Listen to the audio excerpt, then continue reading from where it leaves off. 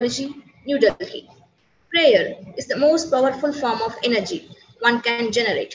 It, it supplies us with the flow of sustaining power in our daily lives, says Alexis Carrel. To begin this auspicious knowledgeful day, may I now, may I now invite Ms. Jay Ranjani of 2nd MSc Botany to invoke Almighty's blessings through prayer song.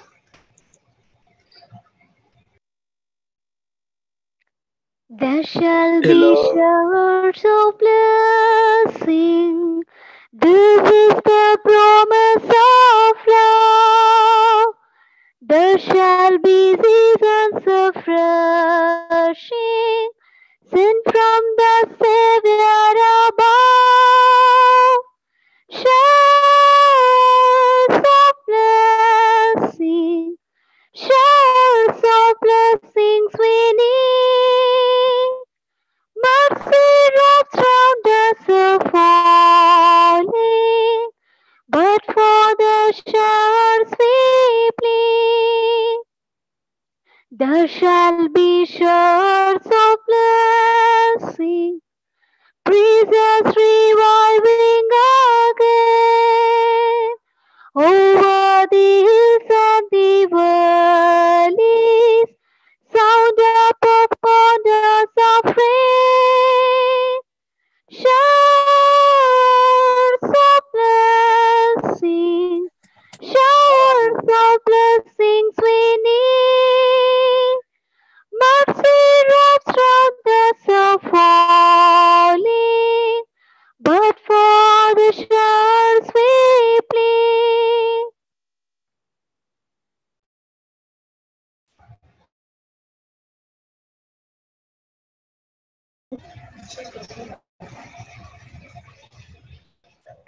Thank you, This is a great day, one we have been planning and waiting for. Now I request our HOD, Dr. M. Glory, Head and Associate Professor of Botany, to welcome the gathering. Distinguished resource person, Reverend Sister Principal, Reverend Sisters, erudite professors, researchers, deans, heads of various departments, great participants from India and from different parts of the world. Very good morning.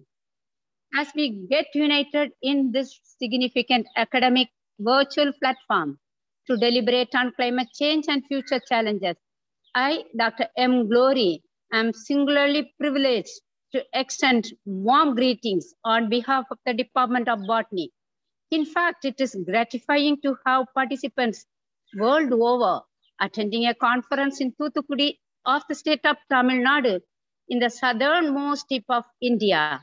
I would like to happily note that this coastal town is also known as Pearl City, is a fisheries, industrial, and port hub in this semi-urban region with its centuries of cultural, religious, and commercial diversity stands our prestigious 74-year-old institution, St. Mary's College, an educational institution run by the Service Sisters for Women. It has shaped thousands of young women, providing liberative education.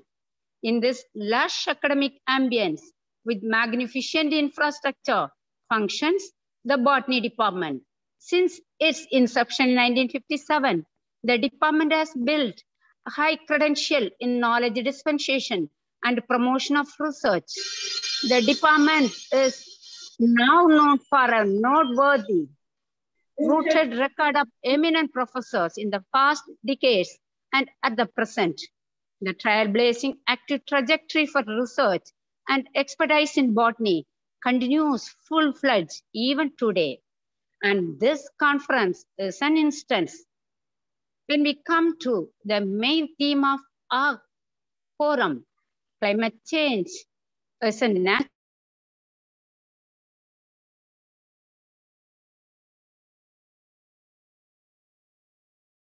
climate change. Several scientists, several scientific forums and consensus have been executed to discuss the same. Some are skeptic of destructive climate change. Others are strong proponents of drastic climate change.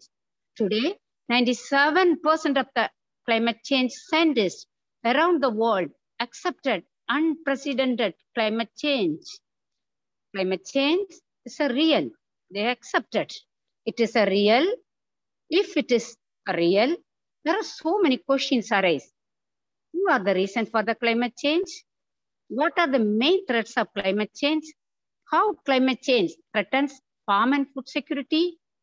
Why we must urgently act on climate change? What happen if we do nothing to stop climate change?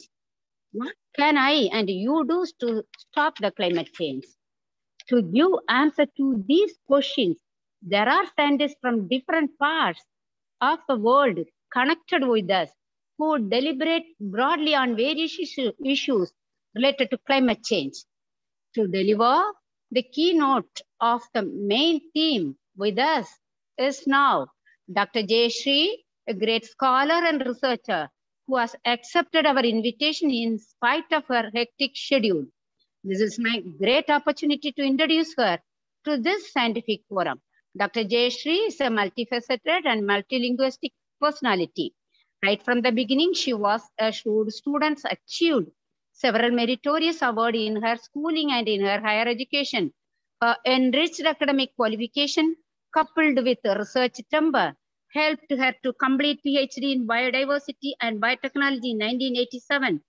Quick in action, she has started her career in 1988 as research assistant in National Institute of Rural Development, Hyderabad, and SV University, Tirupati, in following.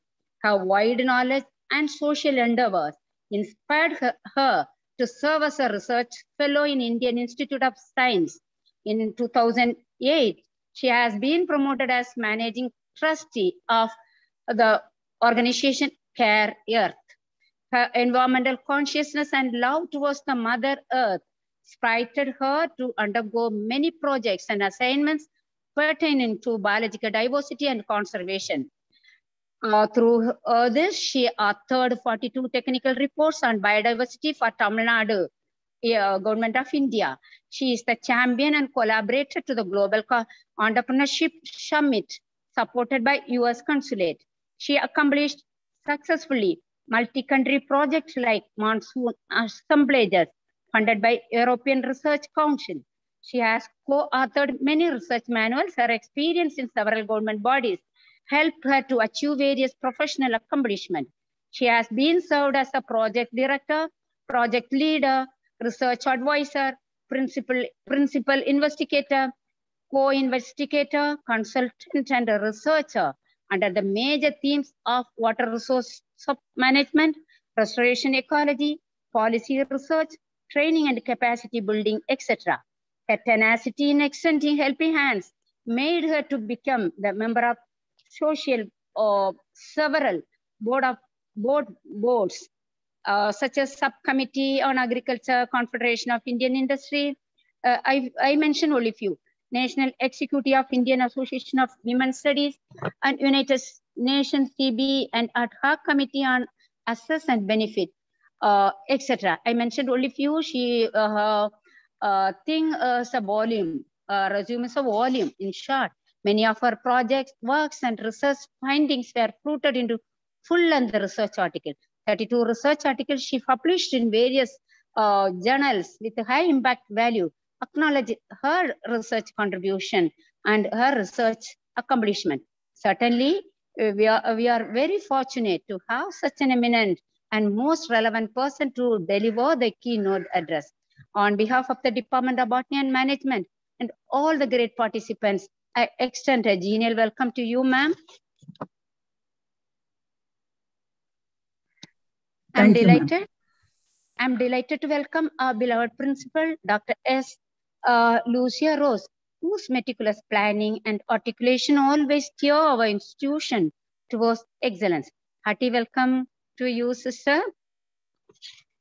It's my pleasure to welcome our secretary, Reverend Sister Flora Mary, who is all time whose all-time support and silent contribution, always motivating us to accomplish a task of any dimension. Uh, my special welcome goes to uh, our deputy principal, Dr. Sister Kolandi Teres, deans, controller of examination, heads of various departments, and my uh, colleagues in our department. Uh, it's my duty to welcome all the participants, without whom the intention of this forum would not be successful. Cordial welcome to all the participants. I hope this conference would be more vibrant and purposeful and will create more impact and awareness on protection, protecting our mother earth, our blue planet. Thank you so much for the opportunity done. Thank you. Once again, I extend a warm welcome to all the all of them connected here. Thank you, ma'am, for the great introduction and warm words of welcome. Now, with much honor, I would like to invite our beloved principal, Reverend Dr. Sister A.S. Lucia Rose, to felicitate the international webinar. Renowned resource person, Dr. Jayashree Venkatesan, Managing Trustee, Care Earth Trust, Chennai, Reverend Sister Flora Maria, Secretary, Reverend Sister Kulande Teres, Deputy Principal, Reverend Sister Josephine Jairani, Director of Self-Supporting Courses, Dr. Punita Dharani, Controller of Examinations, Dr. Sister Genesis Alphonse, Overall Coordinator and Member Secretary, Department of Biotechnology, Star College Program, learned faculty members from our institution and from other institutions, research scholars, and my dear students. A very pleasant morning to one and all connected here. I'm very much delighted to welcome you all to this international webinar on climate change and future challenges sponsored by DBT New Delhi and organized by Marian Star Center, Department of Botany, St. Mary's College Autonomous Thoothukudi and the Star College program. The topic chosen for this international webinar is an opt topic for the current scenario. First of all, I would like to congratulate the convener, Dr. Glory, Head and Associate Professor of Botany, and the organizing committee members for their strenuous efforts in organizing this international webinar.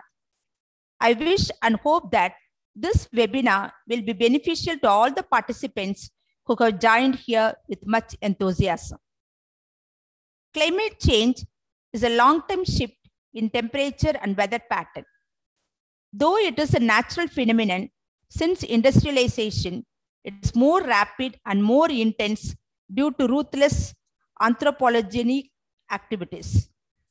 Some recent extremes, such as heat waves, severe drought, floods, storms, and sea level rise would, have, would not have happened without the human influences on the Earth system. Scientific observation and predictions warn that, warn that the climate changes are widespread and the hazards it causes is more frequent and reflect the magnitude of collective challenges for all the stakeholders in the world. It is shocked to hear that the reports of Intergovernmental Panel on Climate Change dated 28 February 2022 indicated that the climate changes change the climate changes are far greater, more frequent, and vastly more disruptive than we understand now. They, in turn, disclose the fact that the rise in 1.5 degrees Celsius temperature would cause multiple climate change risk. Climate change, along with non-climate change, however, resulting in compounding overall risk and risk cascading across several sectors and regions of the earth. So it is the high time to address the impact of climate change and all forms of its ecosystem. I hope this is the right moment to seize the opportunity to work with the understanding of scientific evidences for translating into realities of climate change action. At this juncture, I would like to express my sincere thanks to all the resource persons for accepting our invitations and to deliver talks on various topics amidst their busy schedule. Once again, I appreciate and applaud the organizers for their sincere efforts in organizing this international webinar. I wish you all, I wish all the participants to make the best use of this unique opportunity. I wish this international webinar a great success. God bless you all. Thank you, sister, for your blessing, blessings and wishes, which adds more positive vibration within us. Dear participants, I kindly request you all to turn on your cameras for the photo session.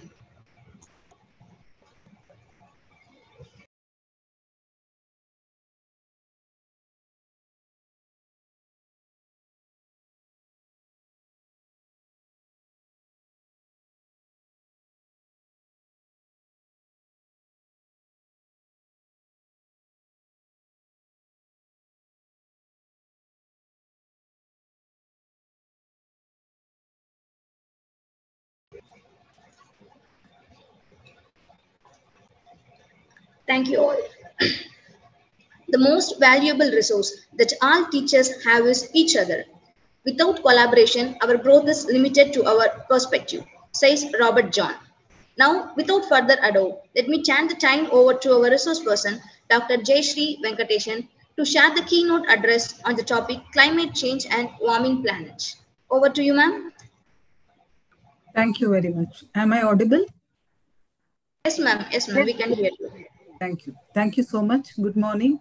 Respected the senior management of St. Mary's College, faculty, dear students and fellow speakers, researchers, ladies and gentlemen. It's certainly a privilege to be talking to you and I hope to do justice to whatever I've been asked to do.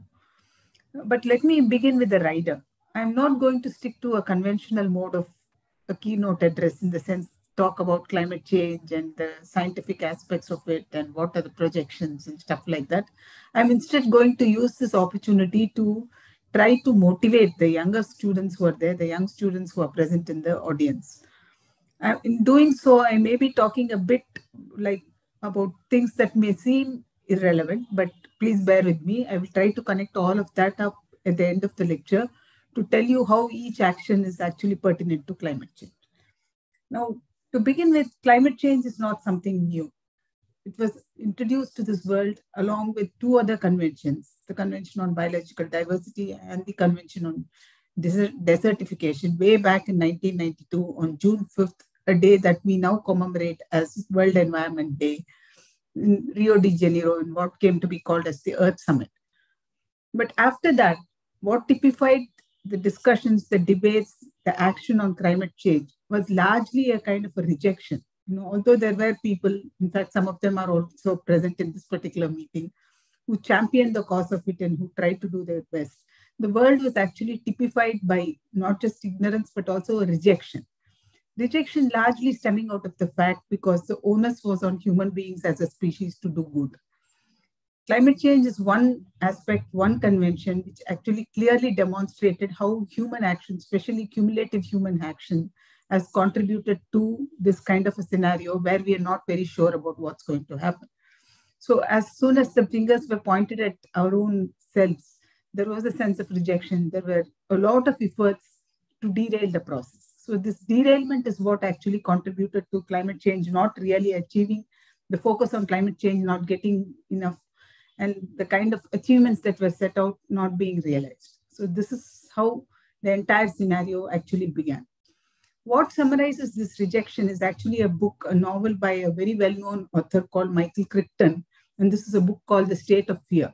If any of you have an opportunity to read it, I would suggest you read it because this is anchored or this is constructed as a highly scientific, very, very well researched kind of a novel, which says climate change is nothing but a bogey, which has been erected by the global community to make sure that every decade there is something of a scare that needs to come into people, and that's what keeps the funding mechanism going. It, it's actually a, a novel based on conspiracy theory you would be surprised to know that just as there are so many of us who believe that climate change is real and that we are all experiencing, already experiencing it big time, there is an equal number which says this is a conspiracy.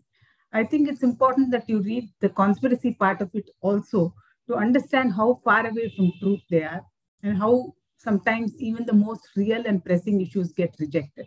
It is in that context that I'm suggesting or recommending that we read this book, The State of Fear.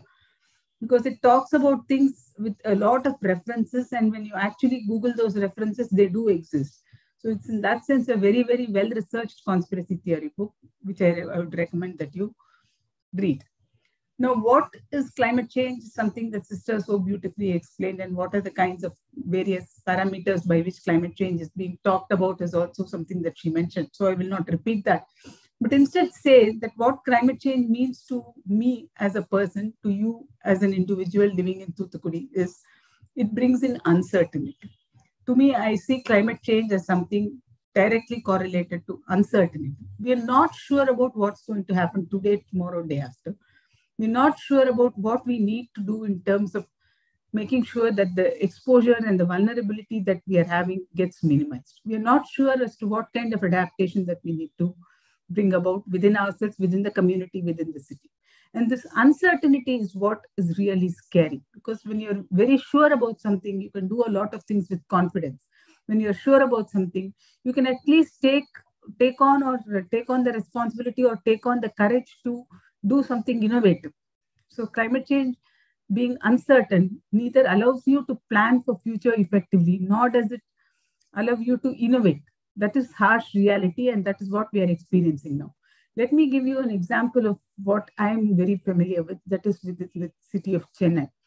Now, one of the things that I'm sure you've all heard, because the IPCC report was recently released and everybody's talking about how Tamil Nadu has been sort of, especially the East Coast has been showcased as some a, a hotspot of some kind, saying it's one of the most vulnerable areas. In fact, Chennai is one of the top 20 Asian cities that have been designated as being very vulnerable to the impacts of climate change. Now, this is something that we already have started experiencing since 2005. In 2005, there was a major flood. In, in fact, if I can step back a bit, interestingly, Chennai has always had a decadal kind of a flood. Every decade there used to be a flood, and but what is more interesting is the records of this are very scantily available. In fact, the only place where these records are available with some kind of uh, systematic collection is the Arch, the, the Diocese of the Madras Mylapore, uh, um, that, that particular wing. And so it is from there that we collected this particular data. Every decade since 1800s, we've been having these floods or waterlogging. Water, I mean, the semantics of it is not important. But the fact of the matter is we've had floods. So in 2005, when the floods happened, and there was a lot of discussion about how this could possibly one of the beginnings of the impacts that we are experiencing. There was there was large scale rejection of the idea. They said, no, no, no, it's poor stormwater drainage. It's uh, basically the fact that the city has not been planned. Everything was showcased in the domain of urban planning, poor urban planning, and crores of rupees were sunk into relaying some of the stormwater lanes and know, coming up with flood mitigation measures like flood control channels, flood control mechanisms, and stuff like that. But if only people had taken a minute to look at how precipitation data, the rainfall data was changing in Chennai, the early warning could have actually been set in. In fact, we looked at the 200 year old rainfall data for the city of Chennai, and we found that Chennai is actually in the mid rainfall regime. It receives an annual rainfall of about 1,248 mm, and that has been the pattern for the last 200 years. I'm talking about 2005, right? Until 2005, that was the pattern. You had this 1,248 millimeters average rainfall every year. Then we went a bit deeper to look at what exactly happens within this 200 uh, year period. Are there changes? Are there patterns that you can discern? We found that except for two or three years, there was no gross change in the amount of rainfall that was being poured down in the city. Then we looked at what was happening in recent times, which was very shocking. The results were very shocking because since 2002, Chennai came to be typified with what would call extreme rainfall events. In fact, when I when I made a presentation in 2006 on extreme rainfall events, people were laughing. They were saying this lady is coming up with new nomenclature to talk about something that doesn't exist at all. What, what exactly is an extreme rainfall event? It's an unusual rainfall event that happens in an area where the, as the name is uh, self-explanatory, it's an extreme thing. In one or two days, it just pours like even as if the skies have opened up and all the water that's there just comes down onto the earth. So that's the kind of extreme rainfall event that we were experiencing in, since 2002. And that is what was actually contributing or triggering the floods of Chennai. So in 2005, it was a joke. Everybody was laughing at it. But in 2015, it happened again. But what is even more interesting was the research team that I collaborated with had predicted with near accuracy that 2015 would be a flooding year. But when the Chennai floods happened, the mega floods happened, all the attention came back to where it actually had to be. That this is an issue on which some serious thinking is necessary. Maybe, even at that point, people were thinking of maybe it is climate change. In fact, maybe Chennai city is vulnerable. Even then, there was not a complete acceptance of the fact that it was something that we are already facing. Then, of course, there were a series of studies by a number of people who showed that saltwater ingress was increasing. There was a warming of certain pockets. Temperatures were also going haywire.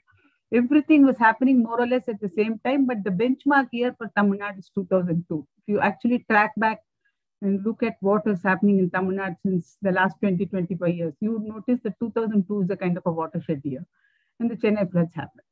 But in 2015, when we researched the Chennai floods, we were more or less sure that this decadal pattern of uh, waterlogging or you know flooding was to change, and it was to change to a shorter duration.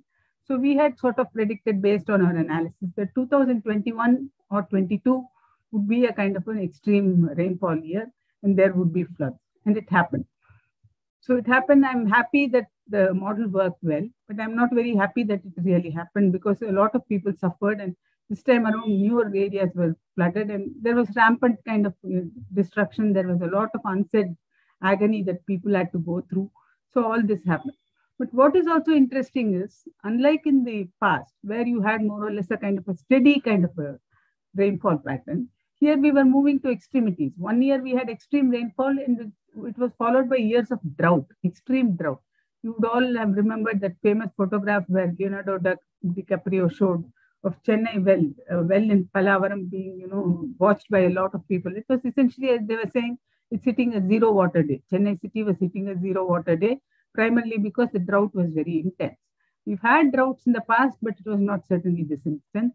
intense. But since 2002, you have extremities. You have extreme rainfall or extreme parchedness. You have droughts. So this kind of switching over leaves people very, very, very vulnerable. So when people are vulnerable, their ability to become resilient and the ability of the city to become resilient goes for a toss. Now, what is resilience? This is also something that's been in the news for a long time now. People have been talking about it. Interestingly, it was an ecologist who first spoke about resilience way back in the year 1972. But of course, ecologists are very often the last people to be taken seriously because people generally believe that ecologists are people who are concerned only with plants and animals, most, most probably with birds. This is what they say. They're the ones who watch birds and talk about birds, which is far from truth. But anyway, coming back to what I was saying, it impacts resilience. You're no longer able to do things the way you want them to be done. One. So that leads to a situation where you cannot cope. You cannot bounce back. Resilience in its simplest form is the ability to bounce back. You cannot bounce back. And even if you do, the loss that you experience for that bouncing back is enormous. There is loss of space, there is loss of time, there is loss of productivity, a whole lot of things. In fact, this morning I read a paper from Mongabay which said climate change also has impacted a lot of has an impact on a lot of psychological parameters. It talks about how the younger generation, especially, would be subject to anxiety and disorders, mental disorders. That was really scary, which means you're essentially essentially robbing the younger generation of an opportunity of uh, to realize their potential. You have young children who have to actually be highly motivated and pursue careers being subject to anxiety disorders we are actually murdering i would say not in the literal sense murdering a generation. So that is the kind of impact it has. So something as simple as you know uh, i mean maybe the word simple is quite erroneous. Maybe as uh, something as easily understood as flooding to as uh, something that's so difficult to understand such as mental issues climate change has impacts on various things on every facet of our life. So this is a point that I think we should take home. It's not just you know something obscure happening out there in the oceans or on the mountain tops where there is an increase in temperature or where there is sea level rise or where there is ingress, where there is extreme rainfall. Every facet, from the foods we eat to the clothes we wear to the education that we pursue, climate change has an impact. Having said all this, why do you, one of the questions that I always ask my colleagues, my students is, why do you think you don't want to accept climate change? Is it because you don't subscribe to the idea that there's something as tremendous as that happening, or is it because you feel you're helpless? Very often the response is, it hasn't hit me yet. This is the response that I get mostly from students. They're saying, we haven't experienced it. You, I mean, which is very nice if people believe they have not experienced it, but that's not really certainly factual. Climate change has been impacting us in various ways in a silent way, which is something that we have not realized. We have not realized because we are, at least most of us are having the privilege of shock absorbers. We are able to absorb those shocks, but it's not going to last forever. It's like that rubber band which cannot be stretched forever. But we should take a minute to remember that there are a whole lot of people, a whole lot of communities, marginalized sections of the society who don't have the privilege of certainly people like us, where we are able to take in shocks, we are able to adapt. So climate change impact, the IPCC report in fact talks about how the kind of progress that, or the kind of pace at which we are degrading the environment uh, has actually contributed to us not being able to adapt very well. We are not able to handle it very well. You know, earlier at least there was a semblance of hope. Now they're saying that's no longer there. So uh, we, when we think of communities, especially the marginalized communities who are really at the raw end of almost every stick that you can think of, their ability to adapt is very, very, very low. naturally low, and now with climate change impacts, it's going to be further low. Now, what would happen? Simple scenario. I'm, I'm taking the most simple example that I could think of. What would happen if people in agrarian areas, especially in drier tracts along the coast, are no longer able to practice agriculture. We've all known in Tamil Nadu, at least historically, two, three districts are known for migration. Ramanathapuram is one, Dharmapuri is another, from where agriculture was very, very poor. And so people were forced to migrate both within the state, across the state, also outside India, to work as wage coolies.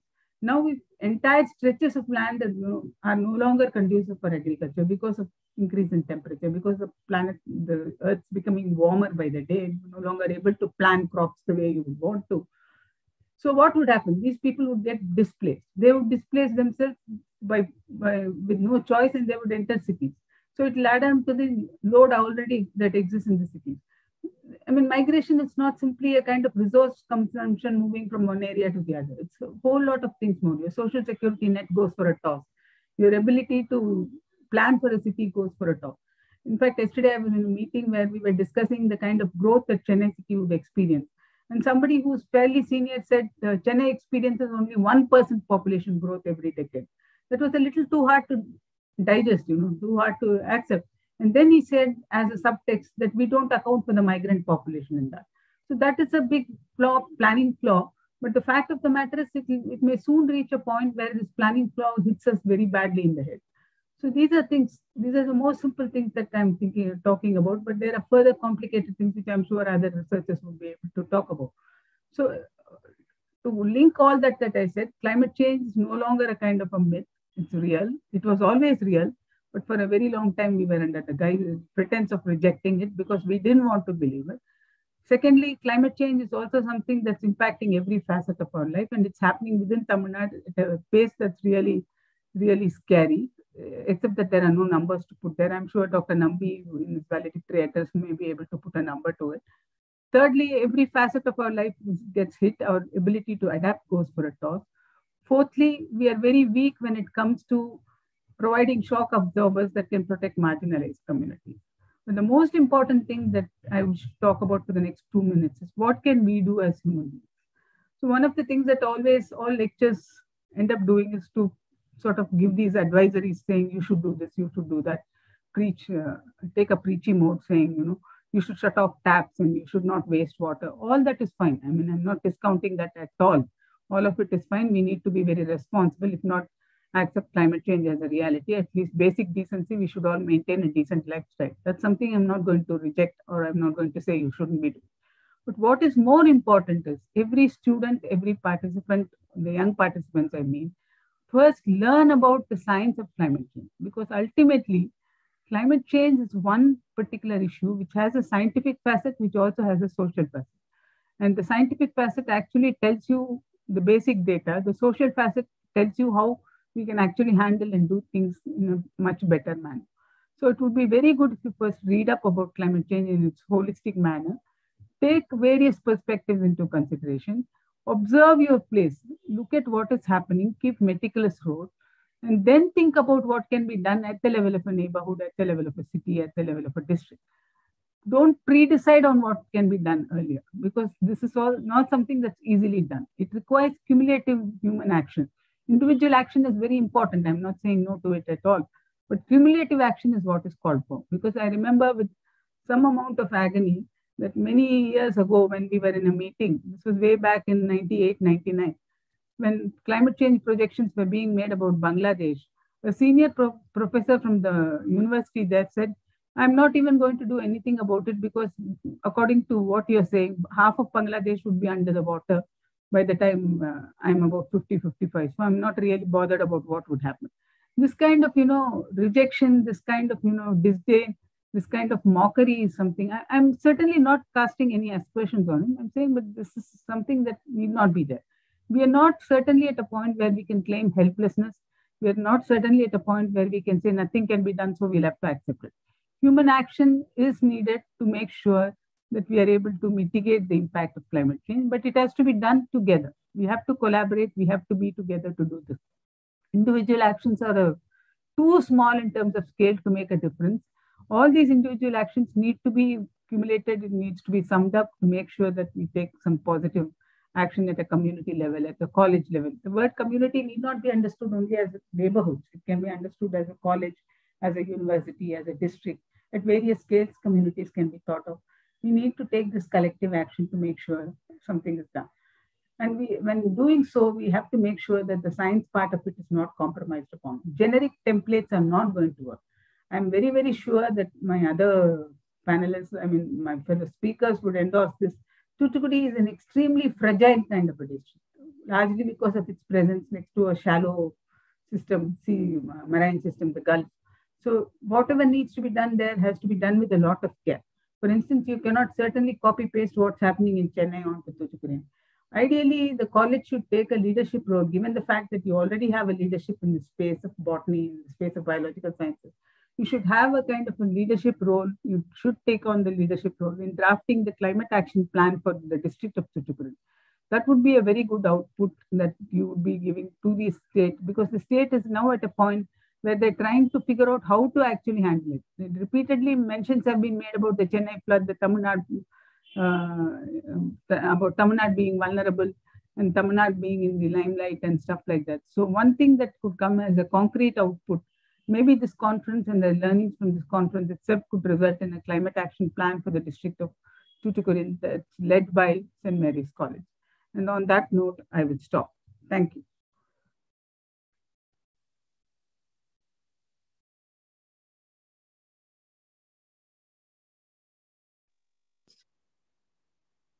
Ma'am, thank you so much. Uh, really, ma'am, uh, I'm Dr. Glory, head of uh, Department of Botany, ma'am. Um, um really, ma'am, we are very fortunate uh, for giving a wide opening uh, for this need-based conference. Uh, of course, from your conversation, we came to know that you are, you, you are filled with the total knowledge on current rate of climate change, um, your presentation citing with your personal and correlating with meteorological data really it's thought-provoking for climate change action is the immediate and urgent requirement. Uh, it's very heartrending and it's very shocking to hear the impact of climate change, the way it affects human health and the social sector, and how it affects the farmland and food security. Uh, your point that individual action must be in the need of the hour uh, that uh, as we know, the, uh, this climate change um, is a common problem. Collective responsibility is required. The individual attention must be uh, there uh, to abate the current rate of climate change issue. Thank you so much for giving a bright openings, ma'am. Thank you so much. Uh, I extend my heartfelt thanks, Dr. Sisa Principal Lucia Rose for uh, giving a nice word of felicitation. Uh, thank you so much. I also thank all the participants who patiently uh, waited for our resource person. Thank you so, so much. You can join uh, for the next session. Thank you so much. Thank you all. Uh, dear participants, we shall break for one hour and kindly join the meeting again sharply at 12 noon.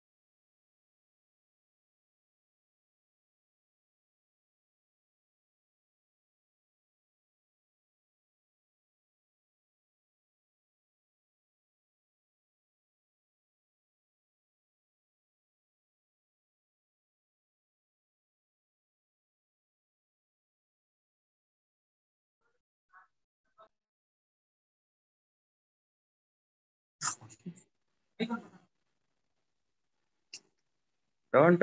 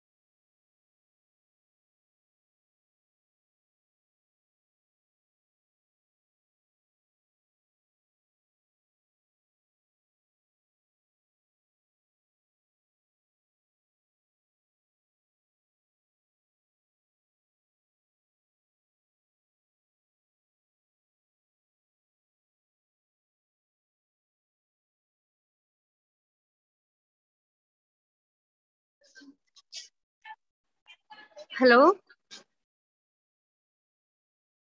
Hello? Yes, ma'am, we can sir. hear you, ma'am. Uh, hello, sir. Hello, sir. I'm, I'm Dr. M. Glory, Head and Associate Professor. Hearty welcome, sir. Yeah, well, this is Dinesh Srivastava.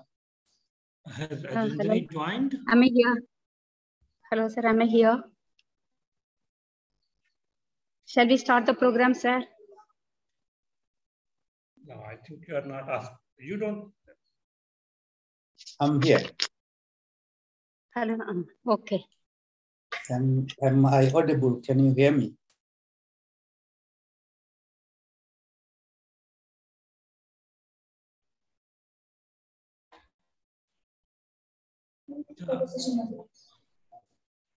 Vindini, Hello, hello, Dinesh. How are you? uh, n- nice to see you and thank you for uh, Ma'am, shall we start? uh, listening to my advice. Yeah. Am I audible, Selvanandi? Yes, ma'am. Yes, ma'am. We can hear you, ma'am. Um, okay. okay. My warm welcome to sir. Um, we'll try, I will talk to sir later after finishing the program. Now we can start with the program. Okay. I think I'm not audible to others. Yes, ma'am. We can hear you, ma'am. We can start. Okay, we start.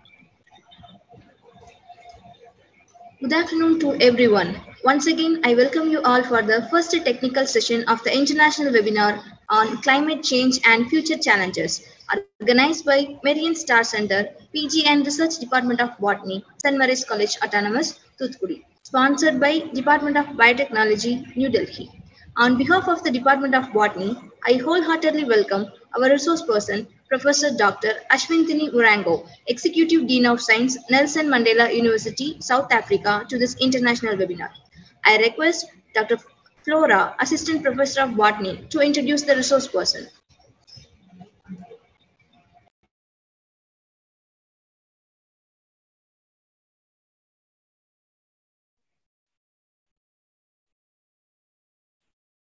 Respected resource person, Azwinndini Muronga, Sister Principal, Sister Secretary, Head of the Department of Botany, Program Coordinator, members of the staff, and my dear participants. Wish you all a very good afternoon.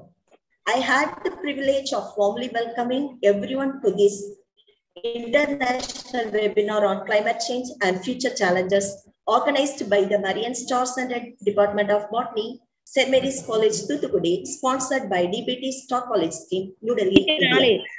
I suppose all of you would have heard of the saying that fortune favors the prepared mind. However, we are living in the age of global warming and climate change, and the future of our planet is very uncertain as of today. Hence, we may have to rephrase the saying as survival favors the prepared mind.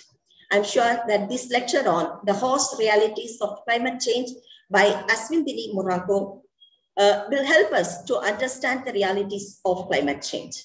First, I would like to welcome our resource person, Professor Dr. Azwinndini uh, Muraga, Executive Dean of Science, Nelson Mandela University, South Africa.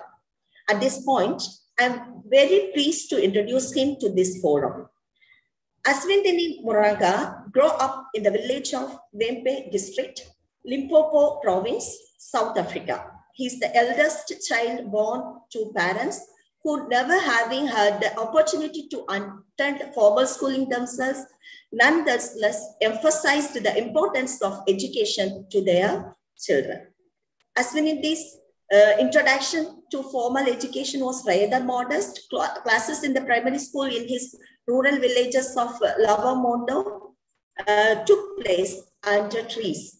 However, from this humble beginning at life, uh, long love of learning was born. Once he had completed grade 10, uh, he was taken under the wing of his uncle, who was then a high school teacher and now a professor. Together with the financial support from his beloved late grandmother in the form of uh, uh, her meager old the Mbilwi High School, which is rated the top mathematics and science school in South Africa, despite it being in rural areas. After high school, he wanted to study medicine. However, financial constraints led uh, him to enroll for a BSc degree at the University of Venda instead. On completion of his BSc, family pressure for financial assistance led him to enroll for the university uh, education diploma uh, at the University of Venda, where he received professional teacher training for one year. On completion of his university education diploma, instead of going into school teaching, he decided to follow his passion, her science, uh, passion for science, when he applied to study honors in mathematics at the University of Witwatersrand and honors in physics at the University of Cape Town. The later option won mostly owing to University of Cape Town's willingness to uh, partially uh, found uh, his studies. Since Azwinndini's uh, undergraduate studies has been completed at the historically uh, Black University. He was only allowed to do his honors degree over the period of two years instead of the usual one year. His honors degree in theoretic, theoretical physics was awarded in, the, uh, in first class. He then enrolled for an MSc in theoretical physics in University of Cape Town, uh, which he completed effectively in one year and which was awarded with distinction. Professor Jean Cleymans supervised his MSc thesis. With the success of his MSc, he was invited to apply for a PhD program at the University of Minnesota uh, by Professor Laurie McLerran and at Duke University by Professor Bernd Muller, both in the USA. He chose uh, to go to Minnesota to study under the supervision of Professor Larry McLerran.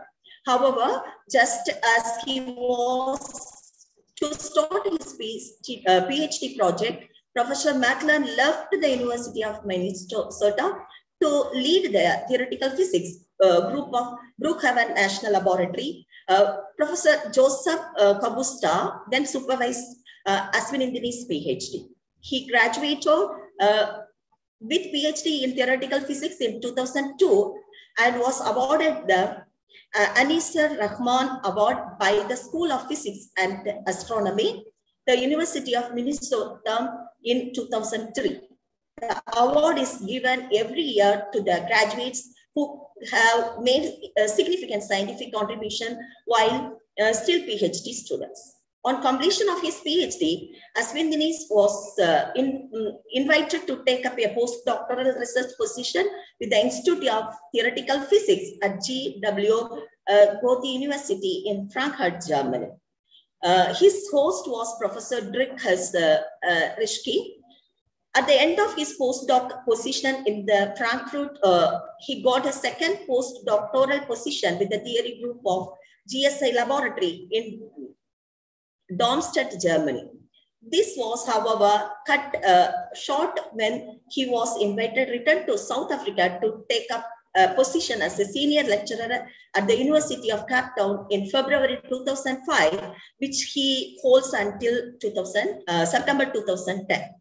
In October 2010, he took up the position of an associate professor in the physics department at the University of Johannesburg and concurrently uh, uh, a position of doctorship of UJ Soweto Science Center, he established the well-known UJ Soweto Science Center.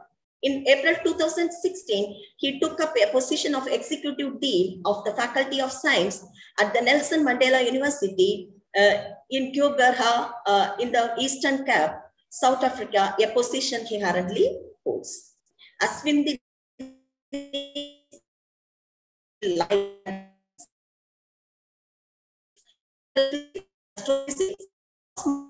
studying the nature and properties of uh, matter under extreme conditions uh, in heavy uh, ion collisions and astrophysics, as well as the properties of new state of matter produced during heavy ion collision experiment at large particle accelerators such as the uh, relativistic heavy ion collider uh, facility in Brookhaven National Laboratory New York, and the Large Hadron Collider at the European Organization for Nuclear Research, known as CERN in Switzerland. This state of matter is believed to have excited, uh, existed just for a microsecond at the beginning of the universe uh, after the Big Bang and might also exist the deep interior of compact stars such as neutron stars.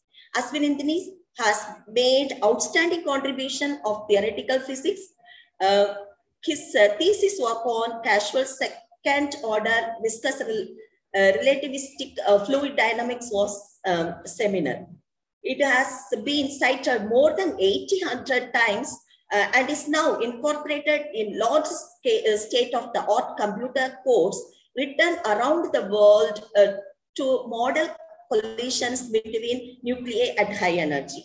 His work has been integrated in experiments done in various locations from Long Island to Geneva at uh, facilitates um, at the billion dollar to 10 billion dollar levels. Azwinndini is considered one of the leading scientists in the uh, uh,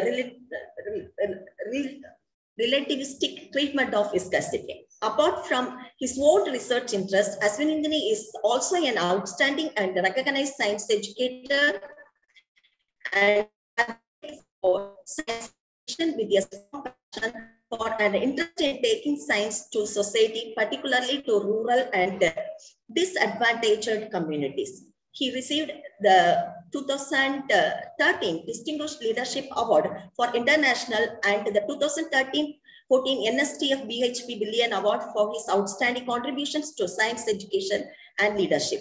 In 2015, he has elected president in, of the South African Institute of Physics, a position he held for a long term of two years until 2017, when he was elected immediate post president of SAIP with the responsibility of international liaisons portfolio on the SAIP Council. Currently, he is an ambassador for the teacher development and outreach and public understanding of physics project of the SAIP.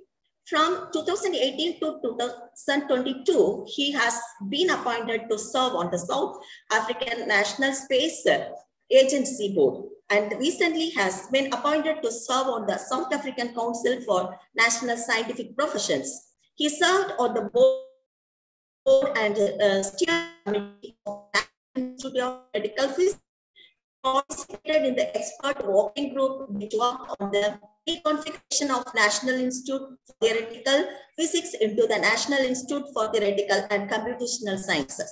He serves as the International Advisory Committee of the American Strategy of uh, on Fundamental Physics and Applications. From 2018 to 2021, he represented South Africa and Africa on the C11 Commission on Particles and Fields at the International Union of Pure and Applied Physics.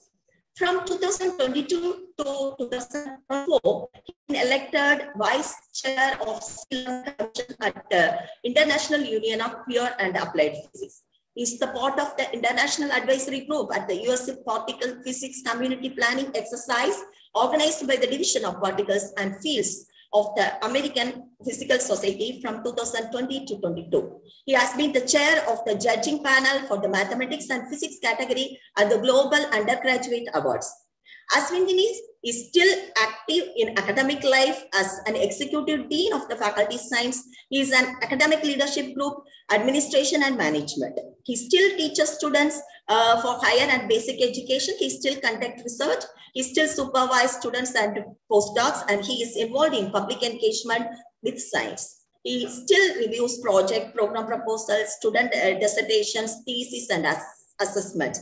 He serves as a national and international conference organizing advisory committees.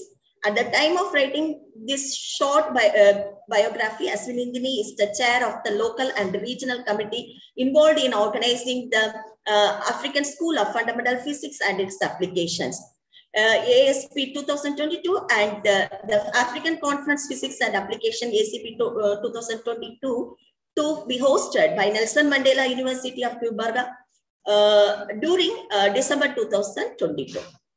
These activities will form part of the International Year of Basic Sciences for Sustainable Development and the International Union of Pure and Applied Physics uh, centenary uh, celebrations under the theme 100 Years of Physics in Africa, the Past and Present and the Future.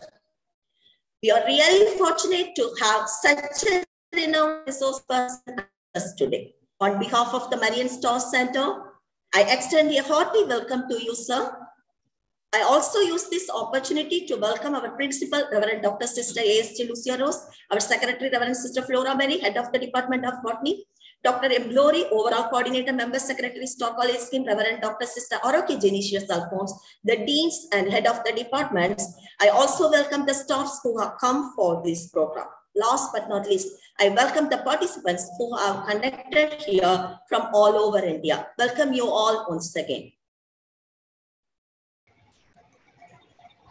Thank you, ma'am, for the great introduction and warm words of welcome. Dear participants, please turn on your camera for the photo session.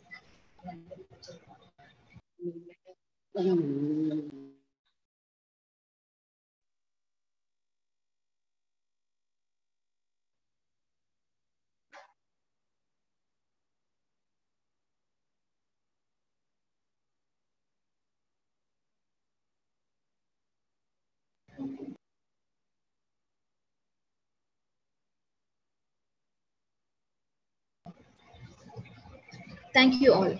The mind that opens up to a new idea never returns to its original size, says Albert Einstein. Now, let us open our mind to hear from our eminent resource person, Dr. Azwinndini Muronga. Sir, the, sir, the session is yours. Thank you very much. Uh, let me uh, get a few seconds uploading my screen. I hope I'm, audible. It's, it's really a great pleasure. And thank you sir, for- you are audible, sir. Thank you. And thank you for that um, introduction. Really, uh, I appreciate it very much. Thank you. I'm going to share my, my screen now. Uh, give me a moment.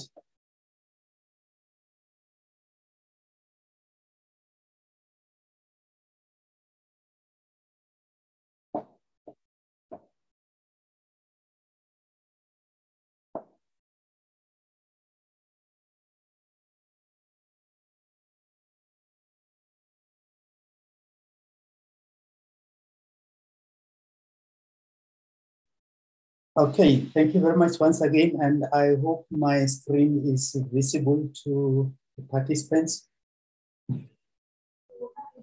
Yes, sir, it's visible, sir. Okay, thank, you very much once again. Um, it is a pleasure to be giving this international webinar today uh, uh, across the Indian Ocean from, from, from, from South Africa. Um, I have I have titled uh, the presentation "Facing the Harsh Realities of Climate Change." Um, just a, a bit of orientation.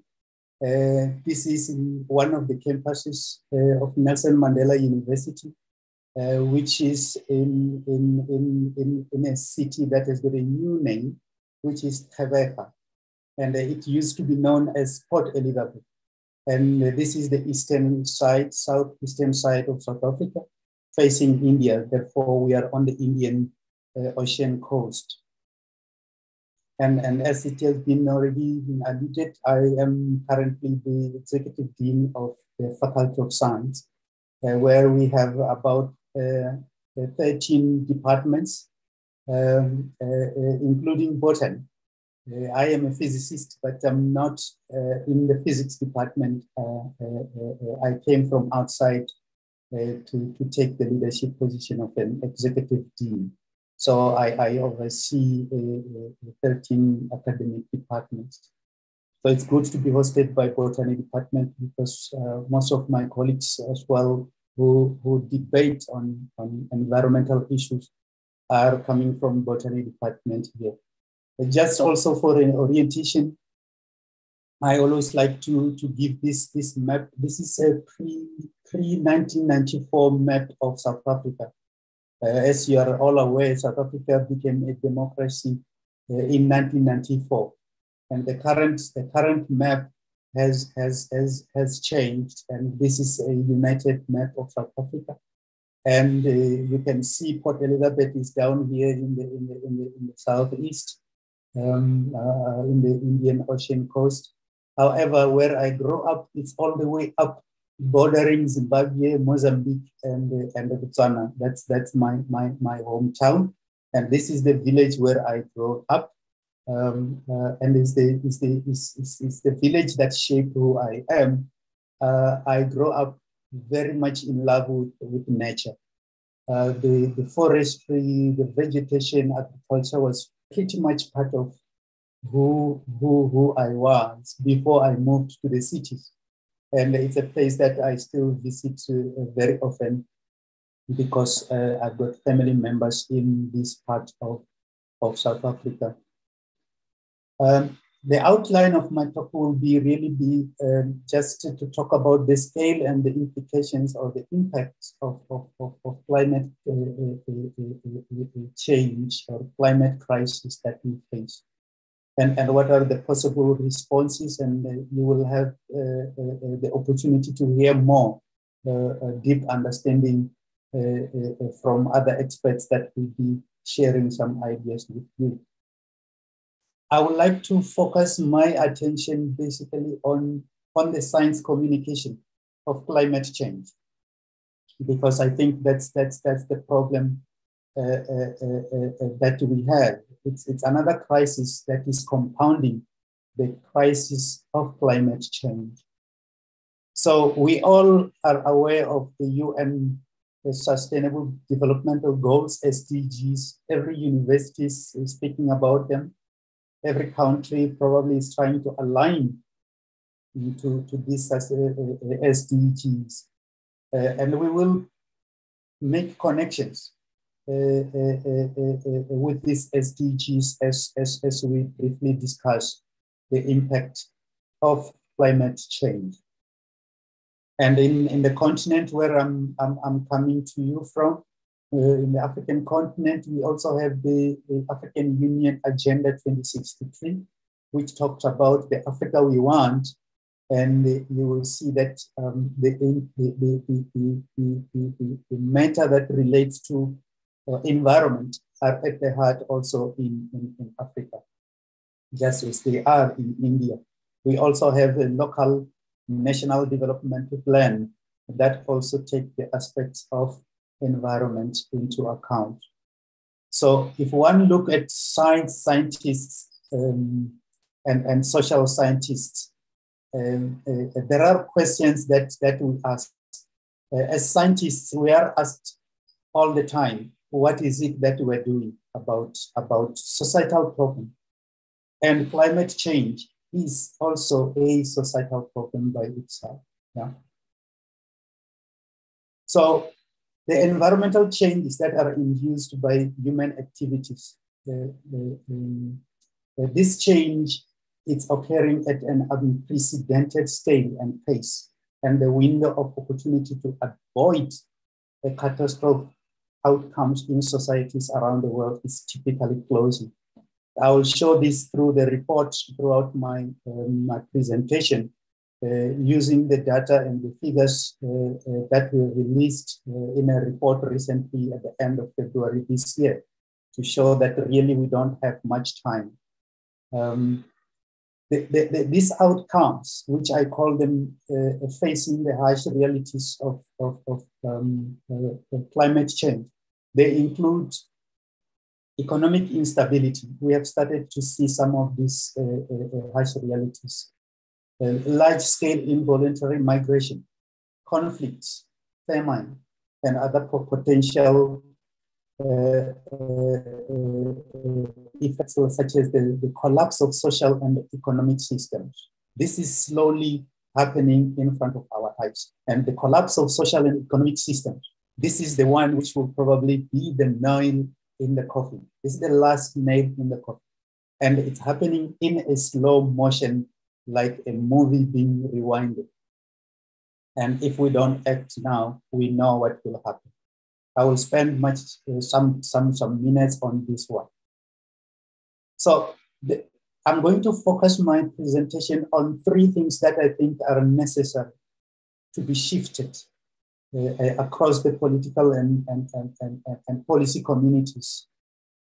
And that is the scale and pace of environmental breakdown. This has to be communicated in our scientific communication.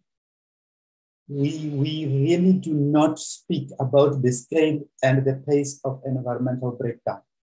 we always talk about climate change and global and the temperature. But if we want to get the buy-in from our communities, from our society, we need to communicate the scale and the pace of environmental breakdown. We also, of course, have to talk about the implications for societies. At the moment, we hear about global warming. It looks like it's something that is out there and it's not here.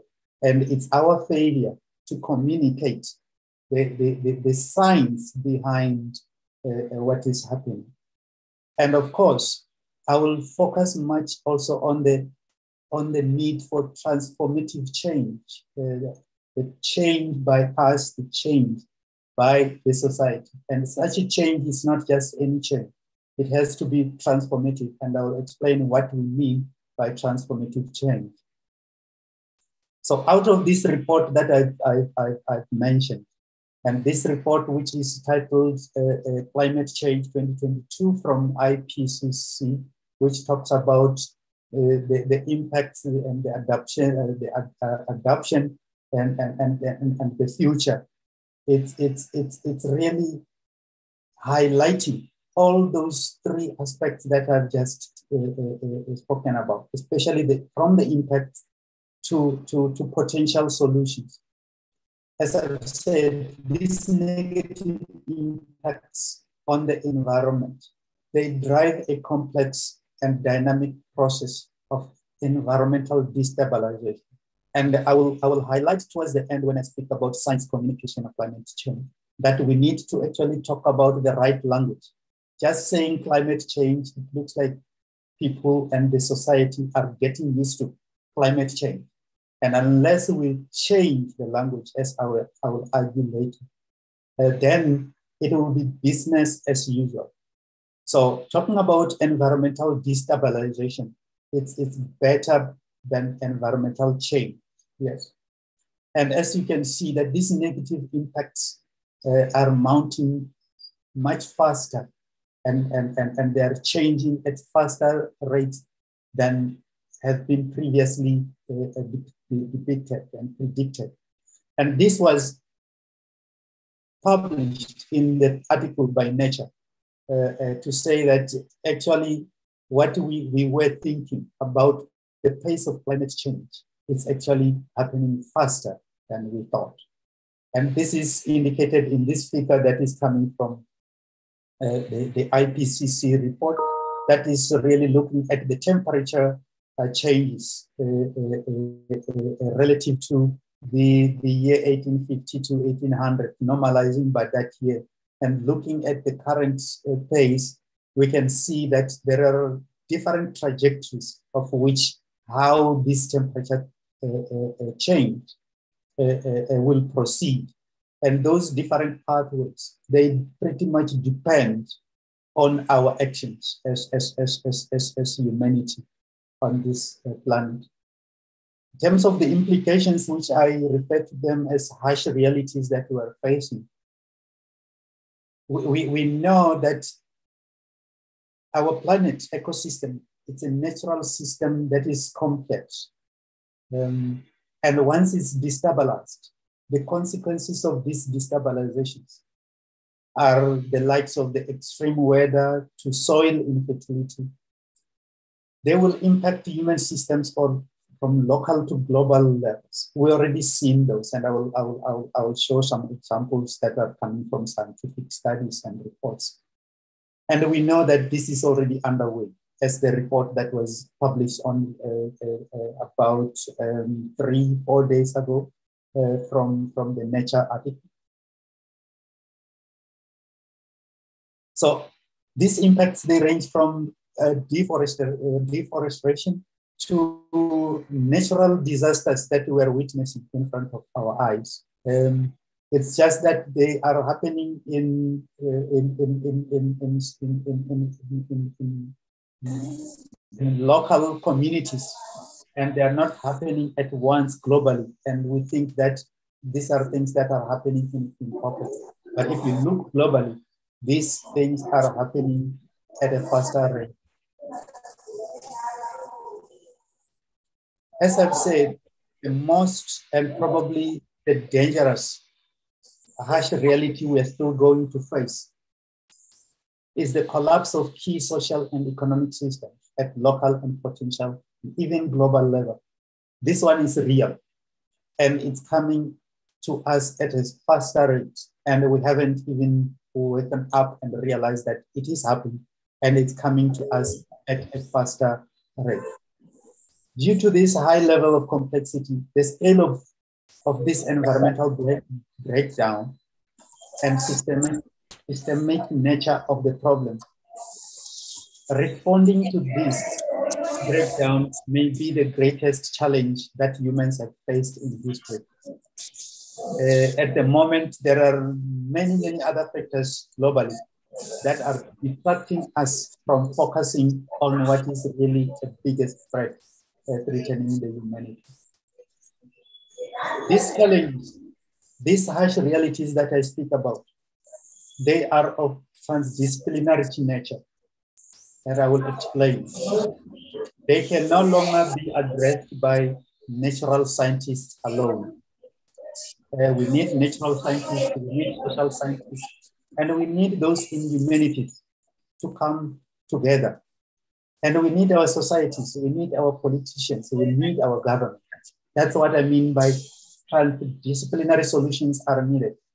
The solutions are not going to come solely from scientists. Scientists can explain what is happening, but that's it.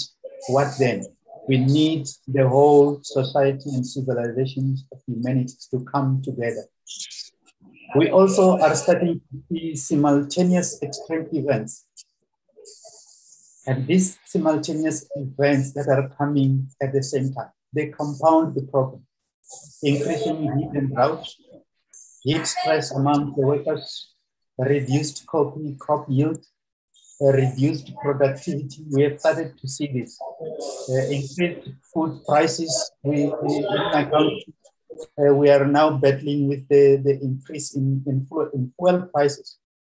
And, and that has got a negative impact on, on, on, on, on food prices.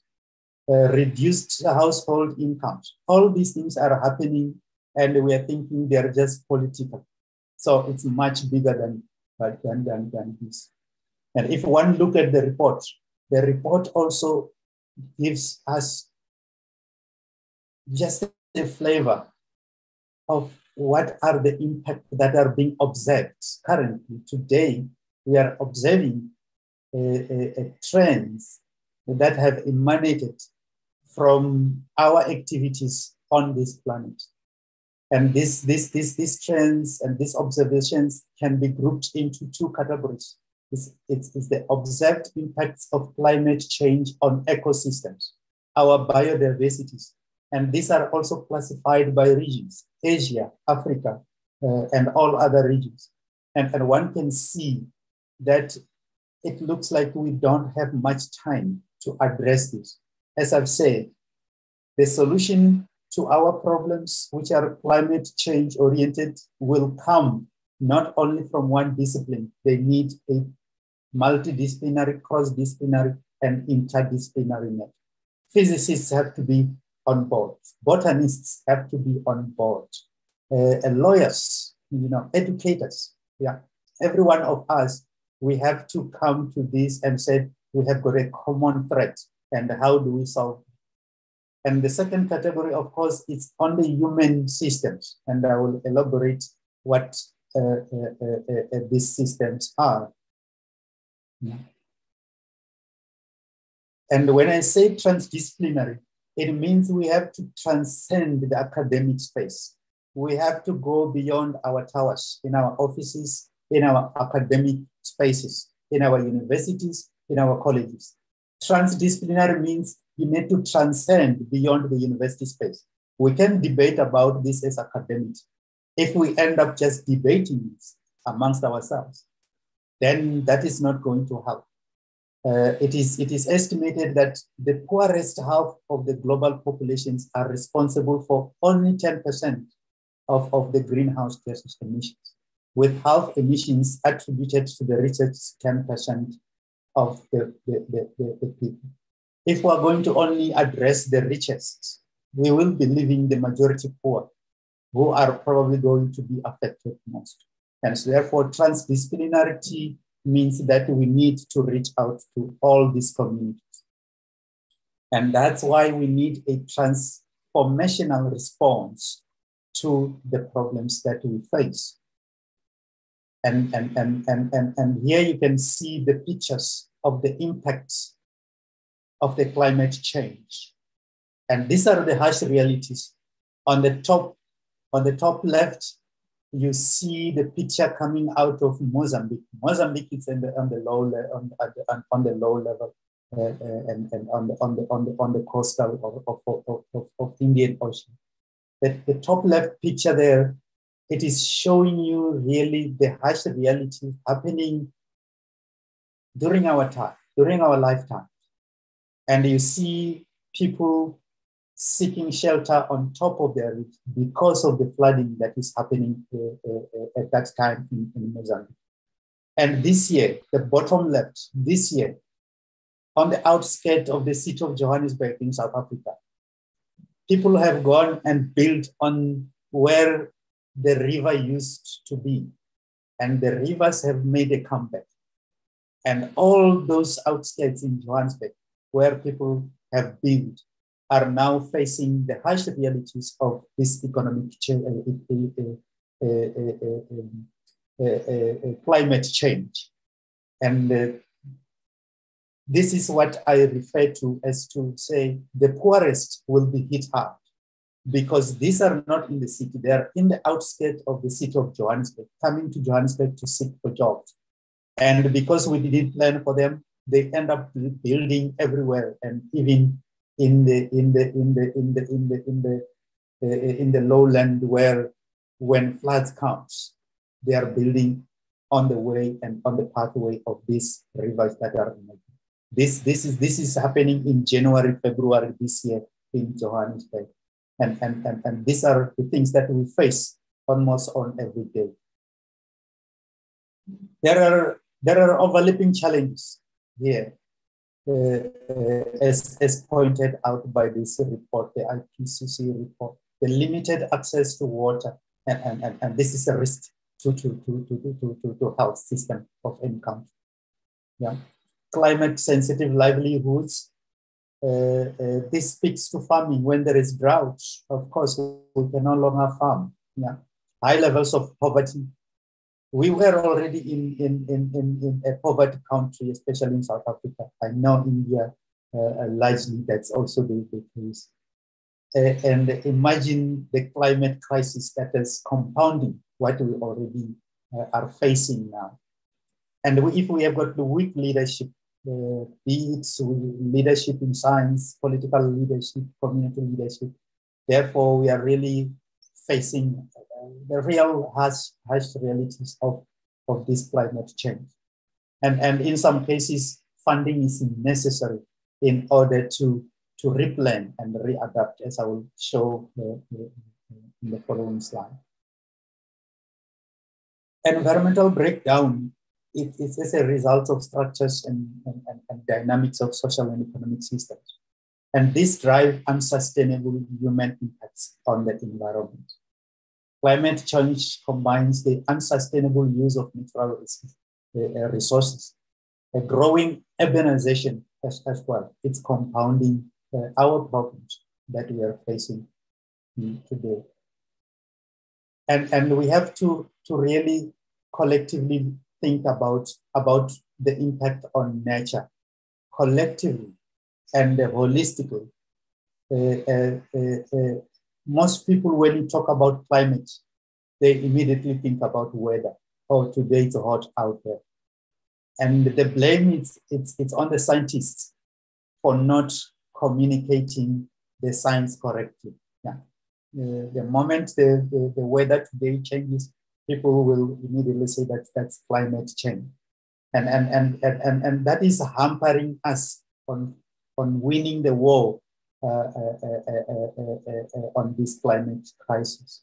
So there are, we, we need to look at nature in its holistic sense when we are addressing the impact of climate change on, on nature from you know how nature used to work in pollination to the coastal uh, uh, protection, tourism, uh, food security, water, water filtration, health, clean air, all, all those things, one has to communicate them as a package and not only one at a time because people will not see the connection of, of, of all this.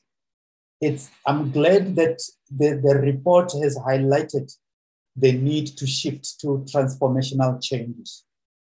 The need to really look at climate change as an, as, an, as an ecosystem rather than just looking at weather patterns only, but start to look at, um, at, at, at, at, at, climate risks uh, uh, uh, and, and how we can mitigate them, but at the same time also looking at the impacts uh, of, of, of, of, the climate change and coming up also with, with, with, with, with, with solutions to, to these risks. We cannot look at the impacts only.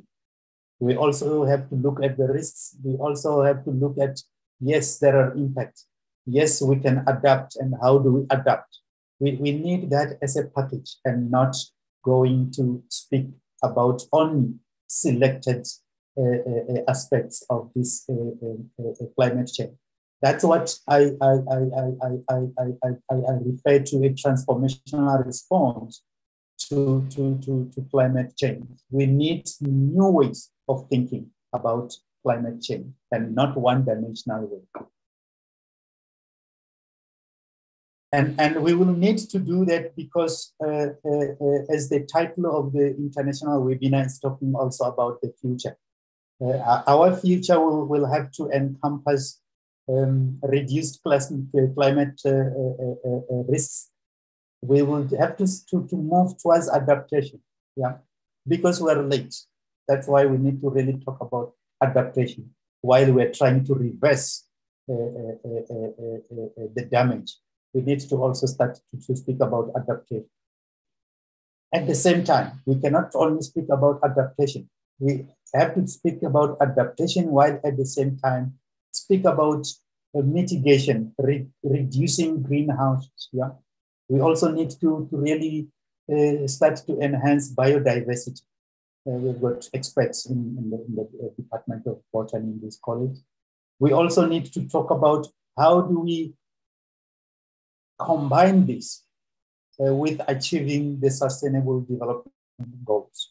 Uh, uh, because when you look at the SDGs, there seems to be a prioritization, and most of them you will not be able to achieve them if you are not addressing the problem of climate change. Yeah. And we have to also communicate the wider benefits of, of, of addressing climate uh, crisis, you know, uh, uh, the wider benefits of adaptation. Yeah. Eradicating poverty, good health, reduced inequality, life and, and on land and, and, and and below water will be enhanced.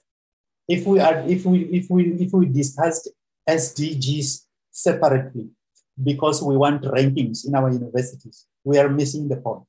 And sometimes I blame the rankings on the universities because they, they, they prioritize some certain aspects.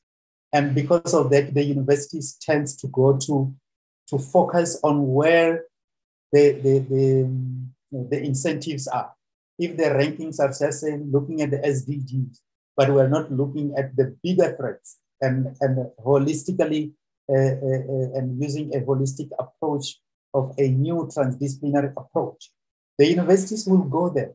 The universities will tend to do what, uh, uh, uh, what incentives are coming their way. Yeah. So this, this latest report, if one reads it, you will see that um, uh, uh, uh, there are solutions that are being suggested. And the question for me is how do I communicate these solutions uh, to the policymakers, but also to the citizens? I think that will be our, our, our, our next greatest challenge. Yes, here are the, the provided solutions uh, or the recommended solutions by IPCC. What do we do? Yeah, we can talk about them today. The question is in it, it is upon each one of us as to what do we do with them. Yeah. As scientists, there, there, there, is, there, is, there is a limit as to how far we can go. We can play our role as scientists and say this is what is happening. But collectively, uh, as humanity, we need to uh, uh, take this, this, this forward. And, and we have to act now as, as, as, as it has been since, since the, the, the beginning of the century. The call has been we have to act now. Uh, we have to keep on, on, on, on, on, on now changing the language to say that the, the, the, the, the, the, the, the call to act really, it, it's we are acting to redress and everyone has to be there in acting to redress uh, the damage on, on, on, on, on the climate. There, there, there is currently all signs of inaction that I can say, and, and, and, and, and this is what we are observing. Otherwise, we will not have all these problems uh, that are coming year after year, flooding, drought, uh, uh, uh, all around us. If, if these, these solutions in terms of mitigation and what needs to be done were being acted upon and depending on on on on on on, on which which which action we take um, uh, uh, we, we, we therefore chart the destiny of our planet. Yeah. And and the destiny of our planet is really in, in our hands. Uh, already in in 2020 2019 uh, as if we were predicting that there will be this uh, international webinar at Nelson Mandela, I, I, I, led, I led um, a symposium um, which was um, held during the National Science Week, which was really about literally taking science to the people about climate change. From one informal settlement of Tala to another one in Thembalethu in the Eastern Cape uh, uh, uh, province talking about the same harsh realities uh, that are that are affecting our lives and that will affect the next generations and the, the future of, of, of, our planet, where we did the same thing, invite um, uh, speakers to come from different walks of life to come and talk about the harsh realities of life, of, of, of, of climate change. And I'm glad that the IPCC later on, which means now in this year, in 2022, they have re-emphasized these harsh realities again, but uh, this time with possible solutions. Uh, on the on the on the right hand side, you see the article that that I published uh, last year, 17th of October, uh, uh, uh, in relation to the Nobel Prize for Physics, and I was arguing that this is a game changer, and this is also highlighting the fact that even if I'm a physicist, uh, I need to, to, to, to contribute. Uh, I cannot leave this only to say, well, environmental scientists will, will figure it out. Uh, climate change is not only for environmental scientists. We should be all be in this. And uh, I invite you to, to read uh, uh, this article where I'm arguing that this Nobel Prize for Physics is a game changer. Firstly, it speaks about that the climate change is not only for uh, uh, uh, um, the environmental scientists on, it is really a, a global effort and within the, the, the scientific fraternity, all disciplines have to come together and, and, and really assist humanity in addressing this, this challenge that, that, that we are. The other message was science has spoken. The vindication of the Nobel Prize is it means that science has spoken on, on, on the climate change. And it's left to us, by us, I mean uh, the citizens of this planet, to take this message seriously and and and and and and, and start to, to to to to to to act. In doing so, uh, I'm, I'm I'm arguing that the, the, the, the, language as well has to change. uh, because if we don't change the language and use the, the probably outdated language, uh, such as climate and, and, and, and climate change, uh, uh, as, as, as we, we are used to it. We need to shift to really demonstrate the urgency of, of this challenge that we have. We need to start talking about climate and nature emergency. We need to stop uh, to start talking about climate crisis, climate or environmental breakdown, because that's what is happening. It's no longer about things are changing, and if we don't do something, the situation is going to get worse. The, the, the, the nature article and the, the IPCC's latest report that was released recently, it's saying the window is narrowing uh, down quite rapidly. So can we still talk about change or we have to talk about emergency because we are not, it's, it's not fear mongering. The, the scientific results is out there saying it is an emergency, it is a crisis, it is a breakdown, uh, it is a, a really a, a global hit. So if this evidence is there, let us change the language uh, in, in our scientific uh, communication uh, as well we need to start thinking also as scientists, you know, um, and, and those like me who are very much in the advocacy side. Uh, we need to perhaps uh, leave, leave the language that masks and underplay the urgency to address climate change. Business as usual, the current trends, uh, I've used climate change. You know, that probably have been happening and we have been preaching that and people are thinking it's business as usual. We need to really uh, uh, uh come up with the appropriate language. So updating the language used must reflect the need to support a just and safe transformation in responding to the climate change. Yeah. So climate change or climate crisis is a transdisciplinary issue and it needs transdisciplinary uh, uh, uh, approach.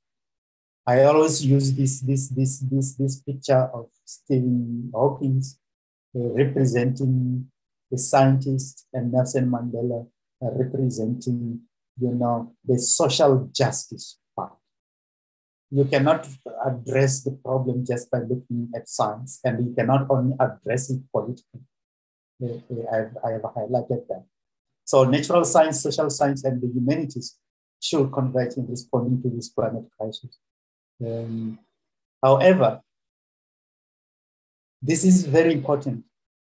The scientific method and how we came to what we know today should not be lost in the mix. And it's very important.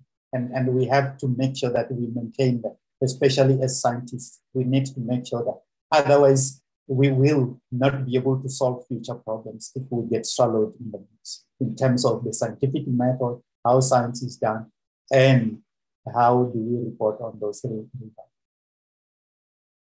As we do that, let us not forget about the poor of the poorest. Yeah? The poorest of the poor have got solutions also. The indigenous knowledges that they have if you just assist them and, and, and we listen to them uh, and we guide each other, we, you will see that we might mitigate some of these challenges. And this is the last section that I'm going to bring, which is I do. Uh, uh, uh, uh what I do, it's on public engagement as a scientist. Even now, as a, the dean of the Faculty of Science, I take my science faculty to the poor communities uh, with, uh, with the different messages, but mostly to take science, not only about um, climate uh, change and climate crisis, but science topics in general, uh, because now I'm responsible for many science disciplines as an executive dean of the faculty.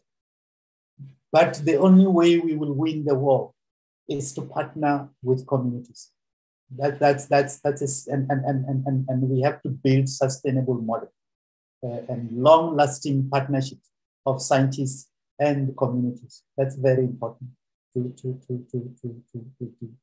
And this is a picture of us uh, uh, uh, going to villages and spending nights under trees, devising solutions to teach where there are no electricity and to teach our, about our home, our planet in the whole solar system and what it means for us. And you can see that we, we underestimate that uh, young, the youth will take the message forward. And, and, and, and, and I'm glad I, I have played my role in, in, in, in getting the, the scientific message across to the young and the elder in the, in the most rural areas uh, uh, uh across South Africa. Um, and, and of course, in the school education, we should not treat school system and our, our curriculum separate from the challenges. If at all, perhaps we should prioritize uh, the climate crisis uh, uh, uh, uh in a new way, which is transdisciplinary, to the schools, to the curriculum, both at, at school and at the university. It should not be only in the environmental sciences curriculum, botanical curri- curriculum. It should translate into mathematics, statistics, you know, uh, physics, it's, it's, it's, it's, it's, it's, it's there, but computer science, this has to be part of our curriculum because curriculum is, is the generation of the new of future of, of, of, of the new generations of cohorts new generations of the citizens that we are creating. But if they don't see that, therefore they will not think it is important. And, and it's very important that we do that. Yeah right from primary schools, we need to, to engage the, the youth because they are the ones that are going to really take uh, the messages uh, uh, uh, uh forward about addressing climate uh, crisis. Whether we do it under the trees, which is great because then you are also reminding the poor communities that they don't need fancy infrastructure that will come and destroy the same nature that they have. You go back and say, let's sit and let, let's, let's, uh, let's, let's stand under the trees and talk about uh, nature and how to protect it. Um, uh, you cannot wait for the government to come and destroy the nature by building infrastructure for you to have the walls to sit in and then preach about uh, the issues of, of, of, climate change. Uh, where you can, you need to send the, the, the, the, message. And if you can have access to this young mind, uh, uh, uh, I'm saying talking to politicians is okay, but this is the group that we need to be to, to speaking to. Yeah, yeah. And of course, the educators. Educators play a very key role. Mm, I came through educators. Most of you have come through uh, educate the hands of educators. And therefore, the message about climate change, if it can go to the educators, there will be a, a speed and a, a, a, recovery in terms of our, our plans. Yeah. Because if we teach the, the, the, the young ones on, uh, you teach them and you will have to keep on repeating. But if you send the message to the educators, you are going to educate the nation. And they are the ones that will become ambassadors of, of, of, of, of, of, of the address of this climate crisis. Yeah. So as, as I've, I've, I've, I've used this before uh, last month in another webinar in another college in India, talking about the value of science, mm-hmm. arguing that science is of great value to society. We should not underestimate that. Nations that invest in science develop and progress at a much healthier rate and in a sustainable way, of course. And uh, most societies, they stand on the pillars of scientific knowledge and technology. All our social activities are much dependent on science and technology. And the sustainable use and development of these is going to assist us to redress the damage that has been caused already. Yeah. Science teaches us to live healthy lives and to protect our environment. Imagine if this is being taught to the, the, the young ones, uh, to the basic, in the basic education, primary school all the way to, to the university, in, in fact. then the message is clear from my side. Uh, and as I argue in this uh, newspaper article about the, the Nobel Prize in Physics, the science part is clear. Any further delay in concerted global action will miss a brief and rapidly closing window to secure a livable future. This is a conclusion from the IPCC report. And if you look at this conclusion and look at my article in 2021 on the local national newspaper Mail and Guardian, it was started as the same that now the science is clear and it's up to us. Uh, and the report uh, from the IPCC has suggested some solutions. And as Nelson Mandela was saying, during the AIDS pandemic that was uh, rampaging our, our, our nations in South Africa. He said the fight against this global scourge of HIV and AIDS is in your hands. And this message is, is, is not different from the message about the, the, the, the, redress and addressing the, harsh, the, harsh realities that we are, uh, are facing uh, Uh, and, and, and, coming up with solutions for, for, for, for this climate crisis. It is again in, in, in our hands, it is in your hands as, as well. So, and, and, and, and not, remember, not forgetting that of all its many values, the greatest value of science must be the freedom to doubt. And this must be part of public engagement with, with, with, with science. Rather than the scientists going to pour the information, we need to engage. It has to be a two-way street engaging our society, also, and the politicians as well. If we do that, we will be able to change the world for good. I thank you very much for listening and, and, and, and, and I hope I have uh, managed to convey some of the harsh realities and what could be done in a, in a, much broader sense. Thank you very much.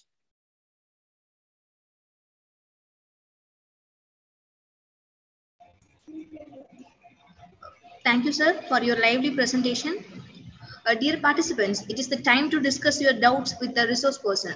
Now you can ask your doubts directly or unmuting your mic or you can share your queries in the chat box as well.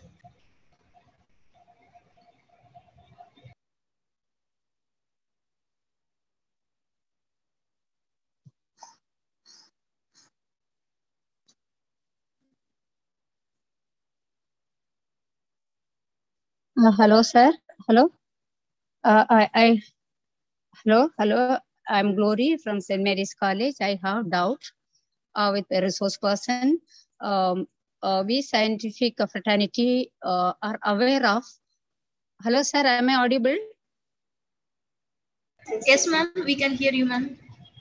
Uh, we scientific fraternity are somehow aware of, uh, though some are skeptic of uh, climate change, but um, scientists are uh, so much aware of uh, impact of climate change.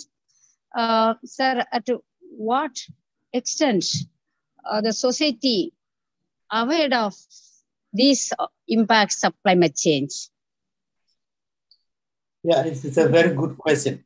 Um, uh, thank you very much, Chairman, for asking that question. That, that, that is why um, I, I um, uh, I advocate the last uh, section of my talk on, on, on community engagement. Uh, uh, there, there is not much in terms of movement of engaging the community. Yeah. And therefore, one cannot blame the community for not knowing. Uh, the question is probably the majority of our society they are not aware that the things that they're seeing around them are as a result of climate change. And the reason is very simple. Because those who have done the research and they've got the knowledge, they are not going out there, they are not doing enough in, in, in communicating the knowledge that they have. The knowledge that we have, we are not doing enough. It's only through the reports. The report is as good as that report. But what about my grandma? What about my uncle uh, who is going to, to clear the, the forest uh, to, to make way for, you know, to grow crops? You know, those are the ones, uh, the farmers who are going to farm and they will say, look, because of the development, I need to go and, and, uh, and uh, you know, clear the forest. They have got no knowledge. Uh, I will say probably 90%, I don't have the figures uh, uh, in my head. Somebody who's an expert might, might, uh, might, might, might know. But I will say it's, it's, it's, it's almost besides the scientists and those that we give information to, I will say the, the, the, the, the rest of the society, they can see events happening, but they cannot really associate them with, with, with climate change. And when they do, they will say we heard that it is associated. And the reason why is because the way we do communication, uh, the way we do community outreach, public engagement, it's a one-way stream. We go there to pour information. And in doing so, those people, they will just say, the scientists are saying so. But we need the citizen not to, to, to not therefore end up saying the scientists are saying so, but to say, yes, this is actually what is happening. And that can only happen after we have done the proper uh, public uh, science engagement. Shall I ask? Thank you so much, sir. Shall I ask one more question, sir? Um, yes, please. My question is, sir, what much can be done by developed nation who were the major contributors of uh, uh, greenhouse gases and uh, devastation of uh, present climate? That, that's very that's very good. So the first thing which we need it's it's the developing nations. They, they need strong leadership because they are the ones that bear the brunt most. They have to, to, to be united and they, they need to come together and impose sanctions on the developed nations. Yeah. And the way we can do that is we must first find ways for the developing nations to survive uh, uh, without relying much on the developed nations. That's the first thing. Let's, let's, let's, as part of the resilient models that we're going to build, we, we, need, we need the developing nations to, to, to start the journey of self-reliant. Um, uh, uh, I, I, I, I, I, I started my schooling under the tree. Yeah, yeah. So you can have education under under under the tree. Yeah. But then you will see that the, the developing nations are going to the developed nation to say we want to be like you. It should not be that that way we need to have a sustainable development plan of ours. And we said we need support on this uh, development plan because otherwise the, the, the, the developed nations will be happy to make sure that whatever development in the uh, uh, uh, the developed nations will be happy to support unsustainable development in developing nations. And, and we will not win this, this, this, this cycle. And our plea, and especially scientists, and you can see that the, the new recommendations, which I like most, is that of a transdisciplinary one. We can no longer wait for answers from the developed nations. The answers have to be co-created. We need to co-create solutions. Developing and developed nations have to come together. If we wait for the developed nations to come up with solutions, I doubt that we will have a sustainable development for the developing nations. Thank you. Thank you, sir. Thank you for your answer. You're welcome. Any other question, participants?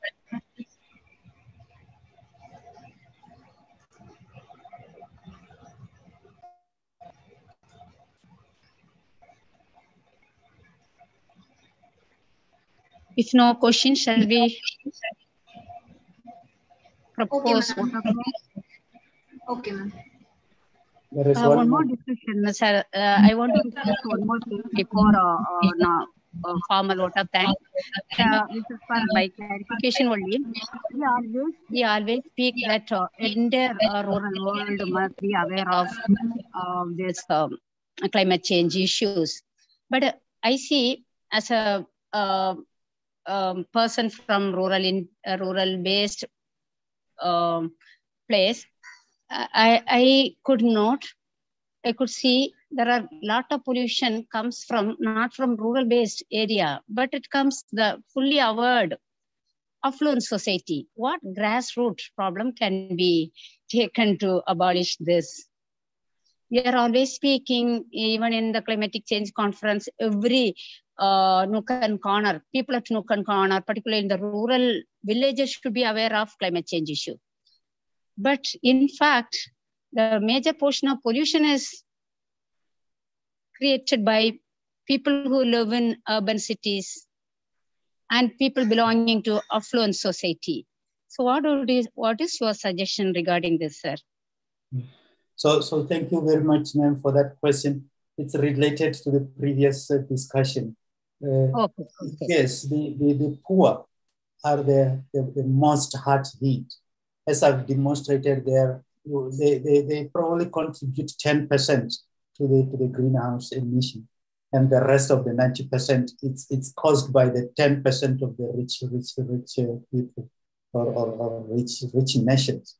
So once again, um, uh, uh, the, the, the, the, poor, the poor communities. This is why when I do science communication, I target poor communities. They need, first of all, to be empowered with uh, uh, scientific knowledge. They need to be empowered with scientific knowledge. Yeah, that, that's, that's very powerful. If you empower them with scientific and technological knowledge, uh, I think we will address most of the problems because once they, they understand uh, uh, who is causing the problems, of course, they will be able to implement um, their solutions. That, that's one, that's mitigation. Yeah, because, because talking to the developed nations that are causing most of the problems, uh, uh, I don't think the local villages will, will, will, will, will, will do that immediately. Um, and, number two, um, uh, uh, uh, uh, they, they, if, if, if, if we can teach, not teach, but if we can engage with the villages through science communication and, and, and empower them in terms of this, those mitigation that are, are in in the IPCC report as well. Uh, I think they will be in a, in, a, in, a, in, a, in a better state. I say that because, uh, say, for example, the most, most poor communities, they are living in the, in the lowlands. If they had the, the, the, the, the scientific information, they will not wait for, for those who are polluting our, our, our environment uh, to come and tell, tell them that, okay, it is your own fault that you're living in the lowlands.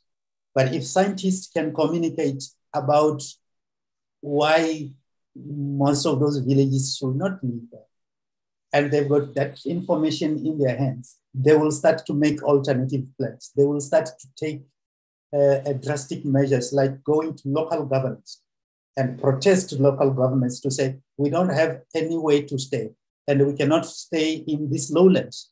But they cannot do that because they don't have a reason why when, when somebody said, why are you sitting and said, well, there is no other place to stay and this is the place to stay. And they cannot see the reason why they cannot stay there because they don't understand the science behind not staying there.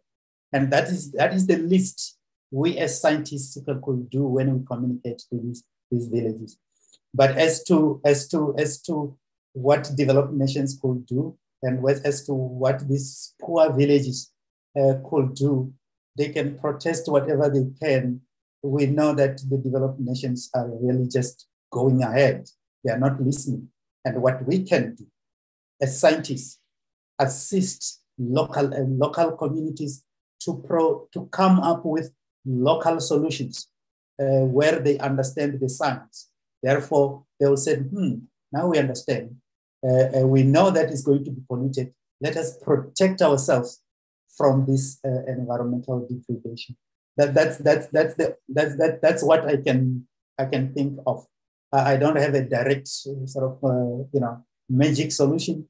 But as coming from science, as a scientist, is to engage these communities to be aware for the future and to prepare them to be to be resilient and to be adaptable. Like that, that's, that's the, the information that I can I can offer. Thank you for that question. Thank you, sir. Uh, participants, uh, do you have any question?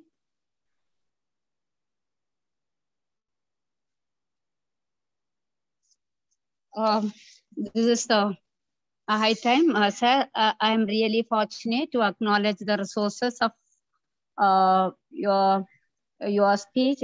Um, it's my great great pleasure um, to acknowledge once again the information shared by our resource per person, Dr. Azwinndini Muronga. Uh, uh, at this juncture, I want to inform all the participants. Um, uh, soon after I placed my invitation, he happily accepted our invitation in spite of his uh, hectic schedule. Sir, your humble beginning and magnificent attainment really to be emulated and it is a great inspiration to all participants, particularly the research scholars and PG students attending your program. So your information on climate change realities, that is the face of destructive climate change, which is more rapid and more intense, is heartbreaking. Uh, you mentioned that uh, climate change implication, that is uh, the climate change risk and cascading risk with non-climate change havoc are not worthy to plunge into urgent climate change action. Climate change is a common problem, so collective responsibility is required to abate this unprecedented rate of implication on the society. As stated in the IPCC conference address, we share only one atmosphere and one climate system. It knows no boundaries. It's the high time and it is the responsibility of all academicians and climate change scientists to provoke the society to deeply aware of climate change risk action. Sir, your strong message that climate change action is multidisciplinary and the need of addressing the issues by all the disciplinary discipline of science. Science and society collaboration is the need of the hour that would be the grassroots, a solution to eradicate the climate change. And also your mention and your discussion, uh, the role of developed nations in abating climate change is also uh, noteworthy. On behalf of the management of St. Mary's College and all the participants, I extend uh, hearty thanks for all your resource that you shared, sir. And it's my privilege to welcome, uh, to show my gratitude to our principal, who is always inspiring and uh, motivating to conduct programs like this. I appreciate uh, her short and sweet note of felicitation and accepting her wishes for the successful uh, conduction of this program.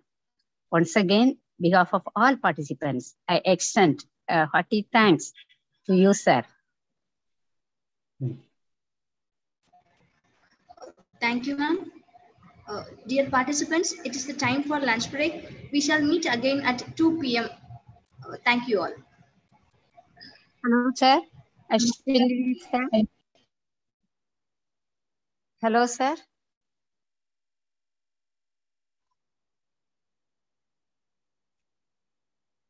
Hello. Hello, sir. Yes. Hello. Hello. Hello, sir. Uh, I was a person in touch with you uh, till now.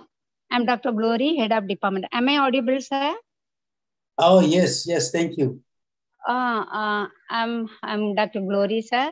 Uh, we Okay. really, really, we are very happy. Though you are in Magnesian position, uh, you have com- humbled yourself and uh, gave delivered the point in a simple way. So every participants, even students, can take your valuable thought and they can take into action. They can make use of your advice and information to their future career, sir.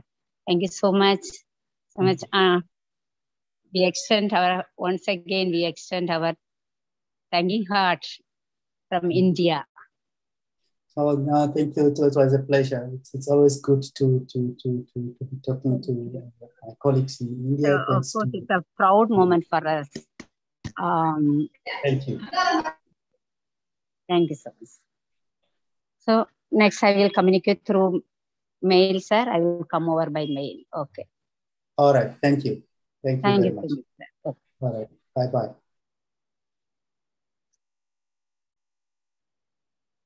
March, Bila.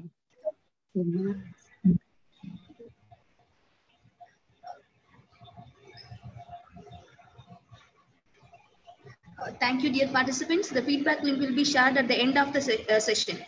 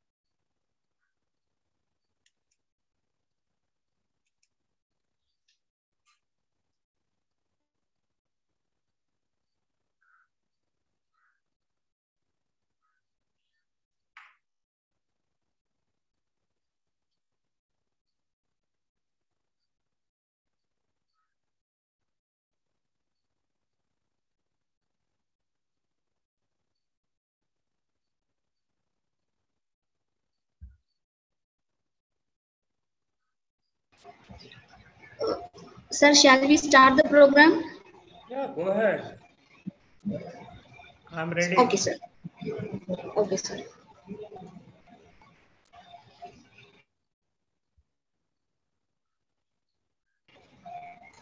Beulah ma'am, shall we start? Okay. Good afternoon, everyone. Welcome back to the second technical session of International Webinar on Climate Change and Future Challenges, organized by Marian Star Center, PG and Research Department of Botany, St. Mary's College Autonomous, Thoothukudi, sponsored by Department of Biotechnology, New Delhi. I extend a genial welcome to the resource person of the session, Dr. Dinesh Kumar Srivastava, Homi Bhabha Chair Professor, National Institute of Advanced Studies, Indian Institute of Advanced Studies Campus, Bangalore, India. I request Dr. Beulah Jolene, Assistant Professor of Botany, to introduce our resource persons to the participants. A very good afternoon to one and all connected here. I am glad to invite you all for the second session of the International Webinar on Climate Change and Future Challenges organized by Marian Star Center, PG and Research Department of Botany, St. Mary's College, Thoothukudi, sponsored by DBT, Government of India, New Delhi. I am very pleased and glad to welcome and introduce our distinguished guest, Dr. Dinesh Kumar Srivastava, Homi Bhabha Chair Professor, National Institute of Advanced Studies, Bengaluru. He hailed as graduate from the Allahabad University in 1970 and he joined the training school at Bhabha Atomic Research Center, Mumbai, and took the variable energy cyclotron project in 1970. And he retired as distinguished scientist and director of variable energy cyclotron center, Kolkata in 2016. After Srina's effect and did of hard work for three more years in the Department of Atomic Energy, he obtained Raja Ramanna Fellowship and moved to Bengaluru. To his credit, he is a fellow of National Academy of Sciences, India, and in Indian National Science Academy of several and uh, recipient of several national and international awards and editorial board member of various journals. His academic excellence revealed his visiting position at universities in USA, Germany, Canada, and South Africa. He has carved a niche by excelling 170 publications in physics on quark gluon plasma and low energy nuclear physics, 11 books, and has given 450 talks on various themes and outreach such as prominent personality is amidst us and we are happy to invite him. Welcome you, sir. I express my special welcome to our promising principal, Dr. Sister Reverend Sister A.S.J. Lucia Rose, and Dynamic Secretary, Reverend Sister Flora Mary, and eminent head and associate professor of botany, Dr. M. Glory, our energetic Star College overall coordinator and member secretary, Dr. Reverend Sister Aroki Genesius Alphonse, and my dear colleagues. I extend my grateful welcome to you all, my dear participants. Once again, I welcome you all for this wonderful session. Over to you, sir. Well, thank you, ma'am, for that excellent introduction, for your kind words of welcome. And let us start.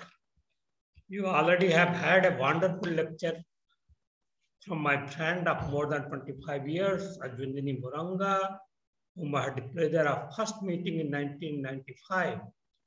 And I visited the University of Cape Town as a visiting professor for a third time.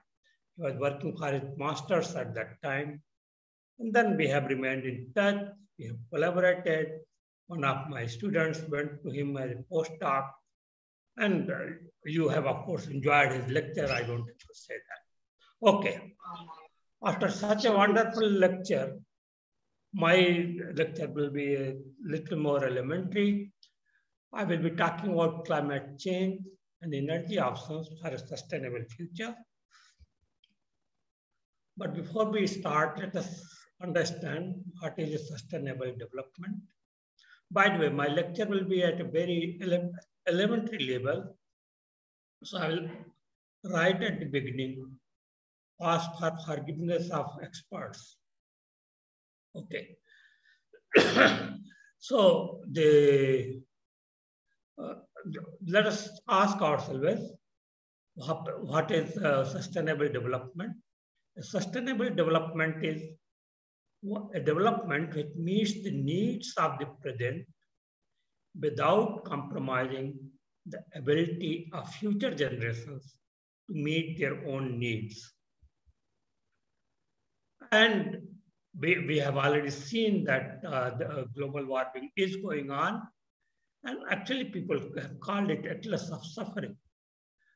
The temperatures are rising worldwide greenhouse gases trap more heat in the atmosphere.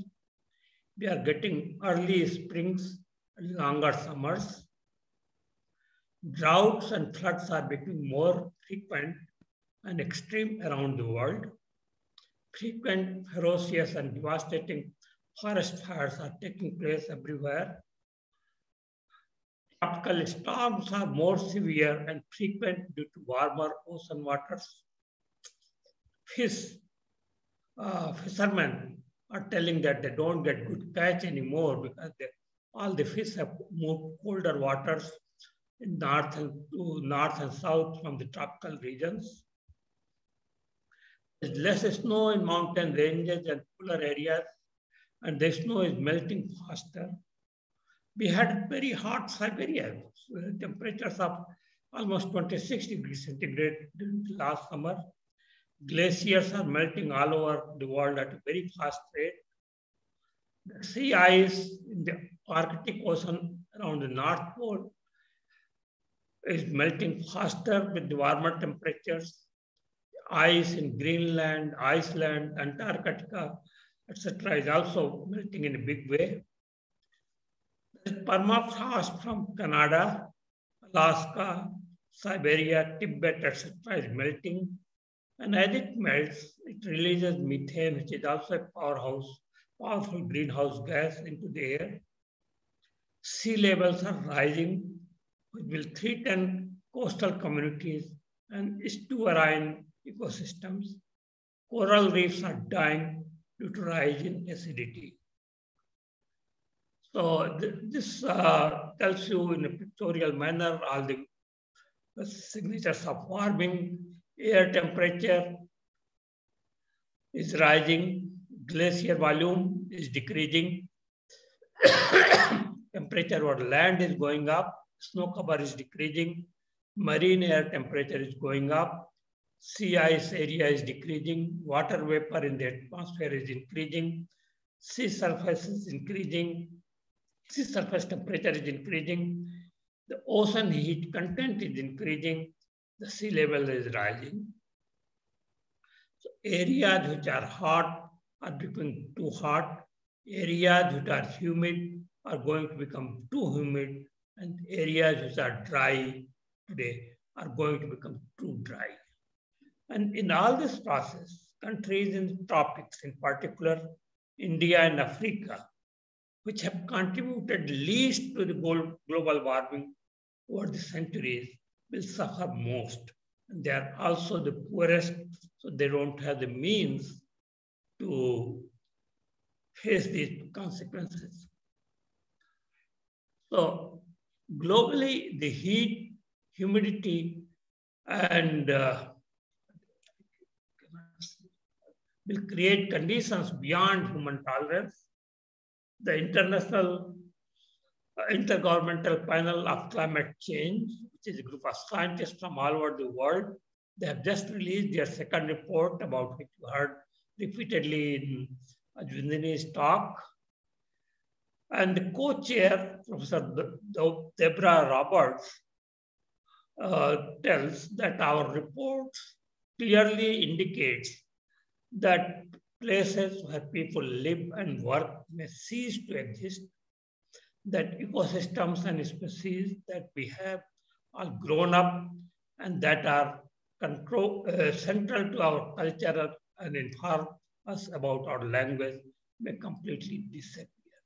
This is not a very happy situation.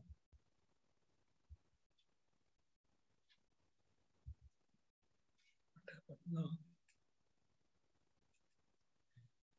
So, uh, what will happen for India? In India, what is going to happen is that glaciers in the Himalayas are melting, will melt, and it will lead to extreme water and heat distress in the country.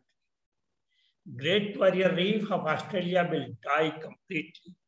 and So will the entire ecosystem around it, including whales and dolphins. Africa will go through severe hot and will get extremely hot and it will suffer extreme droughts. North America will have recurring and devastating fires. And it is already happening. I mean, all these things are already happening. Europe will uh, have extreme heat distress and also tropical diseases like malaria and dengue will now reach Europe. It- This is a, another study by United Nations and IPCC, which tells you how many people are going to be affected by global warming.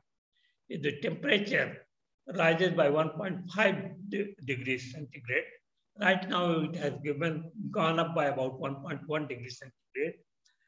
Then at 1.5 degrees centigrade, 4,000 million people, that is 400 crore people are going to get exposure to heat. 300 crore people are going to experience severe water stress. There will be risk to power generation to a large number of people.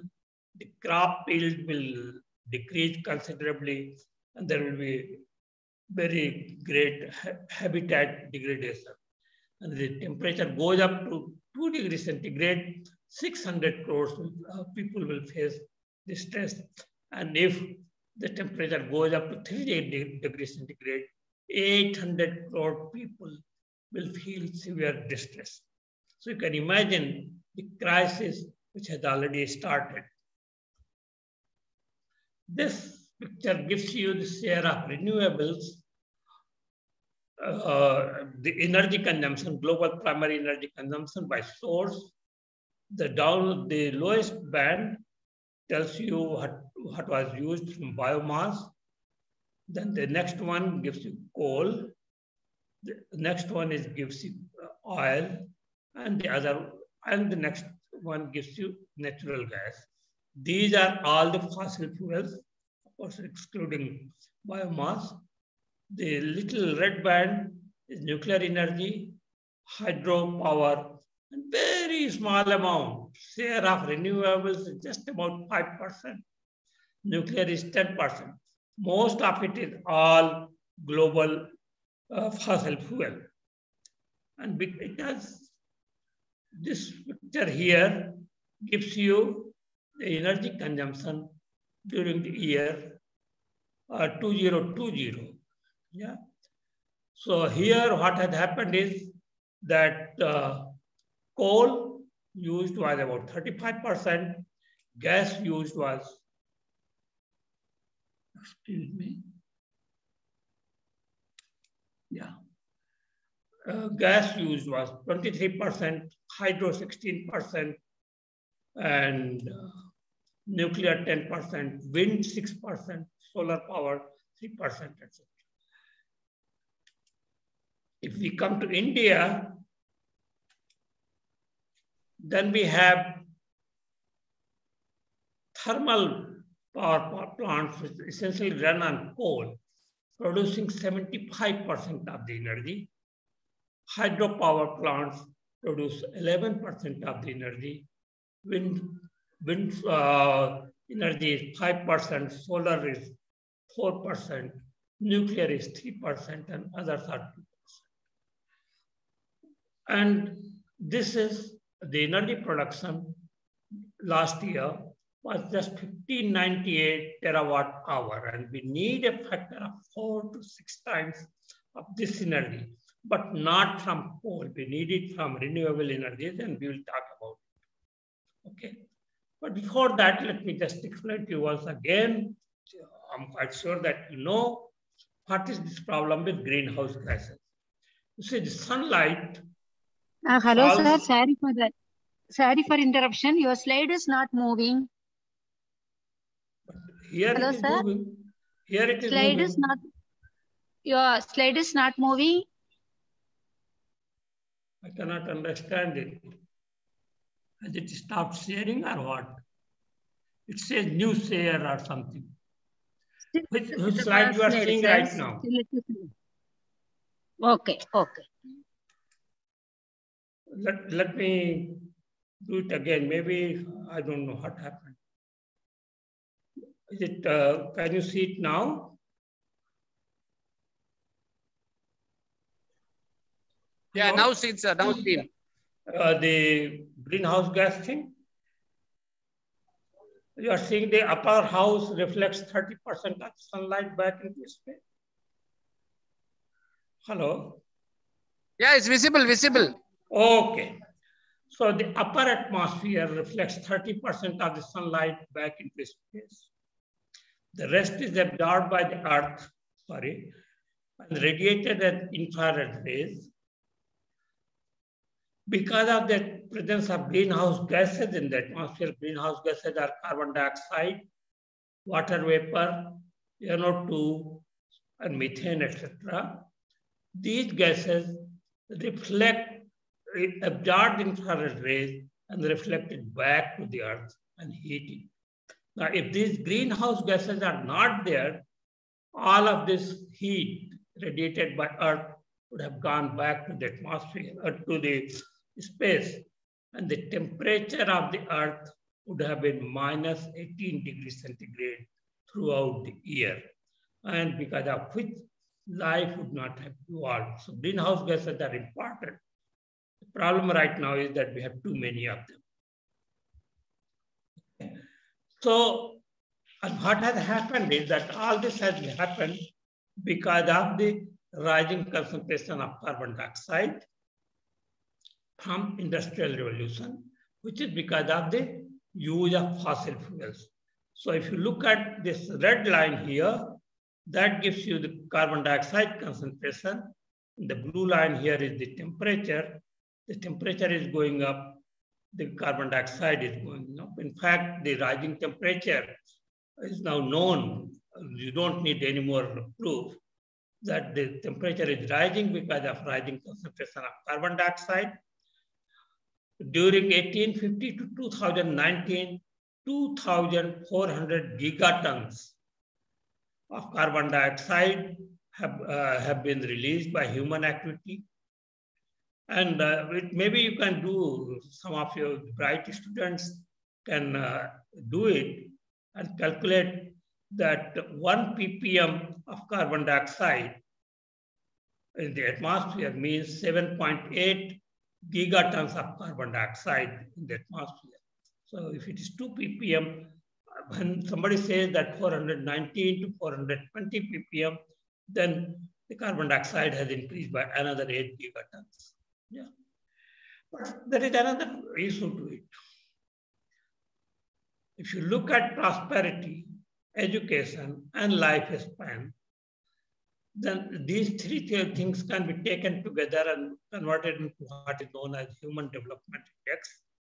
This Human Development Index, if it is closer to zero, you have absolutely miserable life. And, and if it is one, of course, you have heavenly life.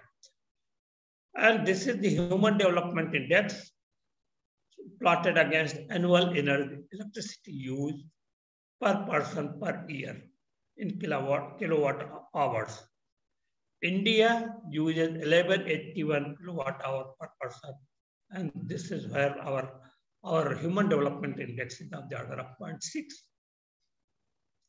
Whereas sustainable and ethical human development index would be obtained if you have something like 4,000 kilowatt hour electricity per person available every year. And which means that we have to increase our electricity production and availability by factor of four. And if you are going to get it out of coal, you will have a serious problem, much more serious problem than we have right now. So coal is definitely, fossil fuels are not, we have to find out some other uh, sources and we will talk about those now. In the process, let, us, let me just remind you that you look at coal, it emits about 820 uh, tons of carbon dioxide per gigawatt hour. Uh, if you have solar PV, emits 48 tons of carbon dioxide per giga uh, per uh, gigawatt hour. And if you have nuclear or wind, then you have very small, about 10 or 12. And this is the region that the, uh, the sources on this side, solar PV, wind, and uh, nuclear, are considered very green sources. Yeah. So we shall, in the remaining part of the talk, we shall talk about uh, how green are our sources, energy sources, which we are using. We'll talk about bio, biomass or biofuel, hydropower, solar power, wind power, nuclear energy, and I will just pass through hydrogen energy also, hydrogen also, which is being used this talked about a lot. Use is not very much. Biomass, you can convert wood, uh, food grains, tree, garbage into oil and use it, or you can burn it and produce energy. But you need to collect all these things. You need to compact it and then you need to transport it. This is a very labor and energy intensive process. Also, when you when you burn all this biomass, you lose nutrients. Same thing happens with biofuel. Where some uh, uh, things like corn or uh, sugar uh, is being converted into ethanol. But frankly, first of all, now it is known that biofuels consume more energy than they produce. And secondly, when billions of people in the world are dying of hunger, to convert all this food grain like corn and sugarcane into oil so that you can have a, use a car uh, looks very unethical to me. Hydroelectric power uh, has been used for quite some time. The first hydroelectric power plant in Asia was uh, installed in Darjeeling in 1897. The total installed capacity by 2020 across the world is about 1330 gigawatts. And IPCC uh, has been suggesting that we can uh, double it by 2050, and I will tell you, come to it. China right now is the biggest producer of hydroelectricity, 370 gigawatts. Uh, uh, Brazil is 109 gigawatts. India is 50 gigawatt capacity. Whereas the, uh, the projected capacity of India is about 300 gigawatts, okay? But we have problems. Hydroelectric power is very, very susceptible to droughts. You have more power during the rainy season and less uh, afterwards. So it is susceptible to seasons. It is susceptible to dam failures. You, re you remember that uh, two years ago in Kerala, many dams had to be opened. Otherwise, there would have been a lot more damage. So if there is too much rain, the dams can fail and uh, create havoc. The dams are also susceptible to earthquakes. estimates that 40 to 80 million people have been displaced since 2000. 40 to 80 million people, just imagine. It disrupts wild and marine ecosystem. And it disrupts the water flow. The rivers just don't flow anymore. And you know that many fish move up the river like uh, hilsa or uh, hilsa and many other fish move up the river and they are not able to move. Then in the dams, you have silting because of which reduces the capacity of the dams. Moreover, something which is not very often talked about, even though those who operate the dams, they know it and they keep record, that there is evaporation of 5,000 70,000 liters per megawatt hour. Now, when evaporation takes place, water evaporates, leaves the salt behind. So the remaining water in the dam becomes very salty or saline. And in India, at least, most of the dams also provide irrigation. And if the saline water is going into uh, irrigation, you can imagine what havoc. Another thing which only now people have started realizing is that when dams are built, a lot of vegetation is submerged. And this vegetation slowly rots in the water, uses up the oxygen because of the fish in the dams die, in the lower uh, regions, they die. And it emits methane, which is a very powerful greenhouse gas. So here is an example in two seasons. At one time, it is 94% uh, full, and next year it is uh, very little full.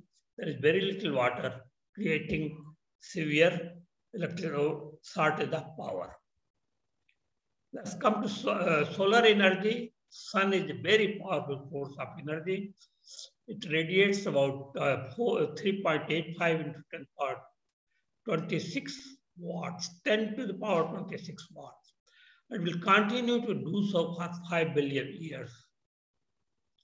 The so solar energy is available to us all the time. And this happens because it converts 4.3 million tons of matter to energy per second, and you can calculate that using E equal to mc square formula of Einstein. The sunlight, when it reaches the top of the atmosphere, it is about 1300 watts per square meter, but about 30% of it is absorbed by the atmosphere, are reflected, etc., etc.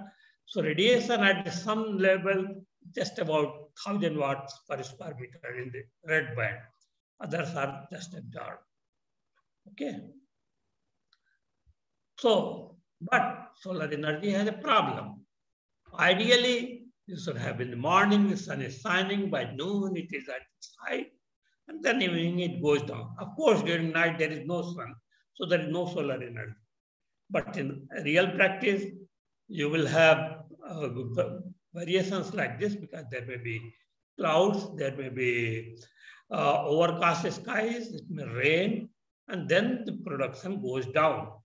And a place like Calcutta, where I spent the last 40 years of my life, the rains can continue for three, four, five days, and you will not have any, any sunlight, and therefore no, no electricity either. If you look at this uh, distribution of solar radiation across the world, then this, uh, you, this is the, uh, the red portions are very hot, the yellow portions are less hot, and then you have much colder regions. And if you just look at this, uh, you can hope, hopefully you can see these black dots here and there, right? Here, here, here, here. If you just cover that much area by solar panels, you will have produced enough electricity to meet the entire energy needs of the world, which is 18 terawatt electric uh, at the moment. Okay. Because of this, there has been a tremendous increase in the global solar PV capacity. PV means photovoltaic. So for example, in 2000, there were only 1.3 gigawatts of electricity uh, capacity. And by now, 2020, it has risen rapidly. And by 2020, it is 770 gigawatts. And in fact, projections are also much better, much higher. You can see Northern America, Asia. Projections are running from uh, about 1700 to almost 5000 gigawatts. So future of solar power is going to be very bright. People are going to use more and more solar power. But let us not forget that intermittent clouds And if you just take four grams of dust and spread it over one square meter of meter, then there is 40% reduction in the efficiency of the solar panel. So you need to keep cleaning them. And for that, you will need water. You also need to keep them cool for higher yields.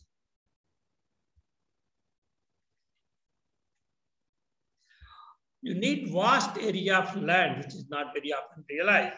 You will need five acres per megawatt, five to even 10 megawatts, uh, 10 acres per megawatt. The efficiency of solar panels goes down by 1% every year. So in about 15 to 20 years, you will have to completely replace all your solar panels. And very soon, millions of tons of solar panels will be produced as e-waste with toxic materials like lead and cadmium thrown around. And we have no plans, no known method also to recycle it so far. You need, because it is so intermittent, it is so variable, you will need to have battery or pumped up hydro or storage at heat or as compressed air or as green hydrogen, I'll talk about For making these solar panels, you need to use a lot of rare materials. And it uses a lot of material. And harmful chemicals like hydrogen fluoride is used during production of silicon. And people have started complaining that since 85% of the energy falling on solar panels gets radiated as heat, the neighborhood of solar panel area, solar farms gets hot. Okay. Also, if you look at the importance of clean energy and uh, the, the things which are very important like uh, rare earths, these are becoming, these are also very, uh, very scarce. Another problem is that half of the world's cobalt reserve is in Democratic uh, Republic of Congo. All your, tele all your mobile phones use cobalt. All the batteries will use cobalt. But half of world's cobalt reserve is in Democratic Republic of Congo. Half the lithium is in Chile. And 70% of rare earths used in wind turbines and electric motors are in China. And in the Democratic Republic of Congo, children as young as four are made to work in cobalt mines. I don't think that it is a very happy situation, right? There's another way of doing using solar power that is called concentrated solar plants. What we do is to use lots of mirrors to concentrate, uh, to focus the light onto a onto some container which may have some special kind of oil which is heated and can run a turbine. A lot of industries use electricity to generate heat. So instead of going through turbines, we can use the heat directly here. That can be very valuable. One of the things is the mirrors are much cheaper than solar panels and last much longer. You just have to clean them. There is no need to replace them ever. They may break, but uh, that's separate issue. But there is a problem is that these birds can get caught in these reflected sun rays and they get incinerated. But still people have gone ahead and they're setting up in desert areas like uh, in Morocco or in Rajasthan, uh, concentrated solar plants are being put up. This is one such uh, concentrated solar plant of 500 megawatt in Morocco. Wind energy is one of the cleanest renewable sources of energy because it has no greenhouse emission except at the time of manufacture and installation. You need to maintain it only occasionally. These have a lifespan of about 30 to 50 years. Do not occupy any space. As rotors are at a height of 50 meters or more, so the ground below can be used for cultivation. And in Tamil Nadu, lots of turbines were put up at one time. I don't know whether they're working or not. But you, because wind is not constantly blowing, right? Except if you go to sea, you will need batteries or you can convert it into hydrogen. Okay, the wind energy is also being, uh, wind turbines or wind farms are being produced and installed all over the world at a very large scale. In 96, just six gigawatts, and now it has risen to 650 uh, gigawatts or more. Okay? So this is going to pick up in a big way. But let us not forget some things. These are extremely intermittent and noisy. You need about 20 acres of land to have capacity of about uh, one megawatt. Then it is limited to hilly terrains, ridges and offshore. Before I went to Bombay, I had never seen a hill. Growing up in Allahabad, nearby there are no hills. It's absolutely flat. And there the winds are not very strong. I mean, they are there during, during a storm or something, but not otherwise. The people have complained that there are local uh, warmings. It is killing birds up to more than 5,000 per year in USA alone. And when the, when the turbines move, they, they flicker the light behind them, sunlight, which disturbs animals and can give epileptic fit to people. Installation can be very expensive because 50 to 100 meter long and extremely heavy rotors must be carried to hilly terrain and oceans needing construction of sturdy roads and foundations. Extremely vulnerable during storms, recycling is still in infancy. This is again best with hydrogen uh, batteries or with hydrogen generation. So this is the epileptic fit and the, the flickering of lights, which I told, and the birds being killed by uh, turbines. And here I give tell you something. Using artificial, now you can see approaching birds and stop the turbines. So good science can avert many dangers. Now consider nuclear energy. Consider the nuclear fission of uranium undergoing fission with, under the impact of neutron, and it produces 200 million electron volts of energy. And the corresponding chemical reaction, carbon burning, carbon plus CO2 going, O2 going to CO2 produces just 4.1 electron volts of energy, which means that fission, nuclear fission reaction produces up to 50 million times more energy per reaction. And that immediately explains to you why it is becoming so, it, it is so popular and so variable. This is the thing which is holding in, in this, what do you call it, forceps or tongue, is one nuclear fuel element and it as much, it produces as much energy as 1,000 kilograms of coal or 500 cubic meter of natural gas or 450 liters of oil. You can imagine how, how uh, important it is. Now, if you have a nuclear power plant, it will generate power whether there is rain or sunshine or strong wind or snow. It is continuously working, unlike solar power plant uh, or a wind turbine. Okay? So because of these reasons, there are, these are number of operational nuclear reactors in 2020 by, by country, 96 in USA, 23 in India, about 15 in Ukraine, 58 in uh, France and all.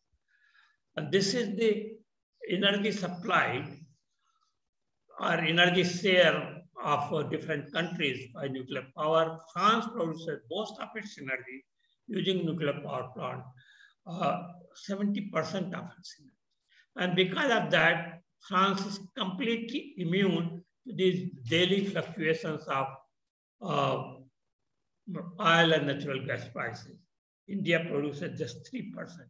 if India were having a large part of its energy being produced from nuclear power, we would not have been hostess to these uh, fluctuations in, in uh, prices of petrol and oil.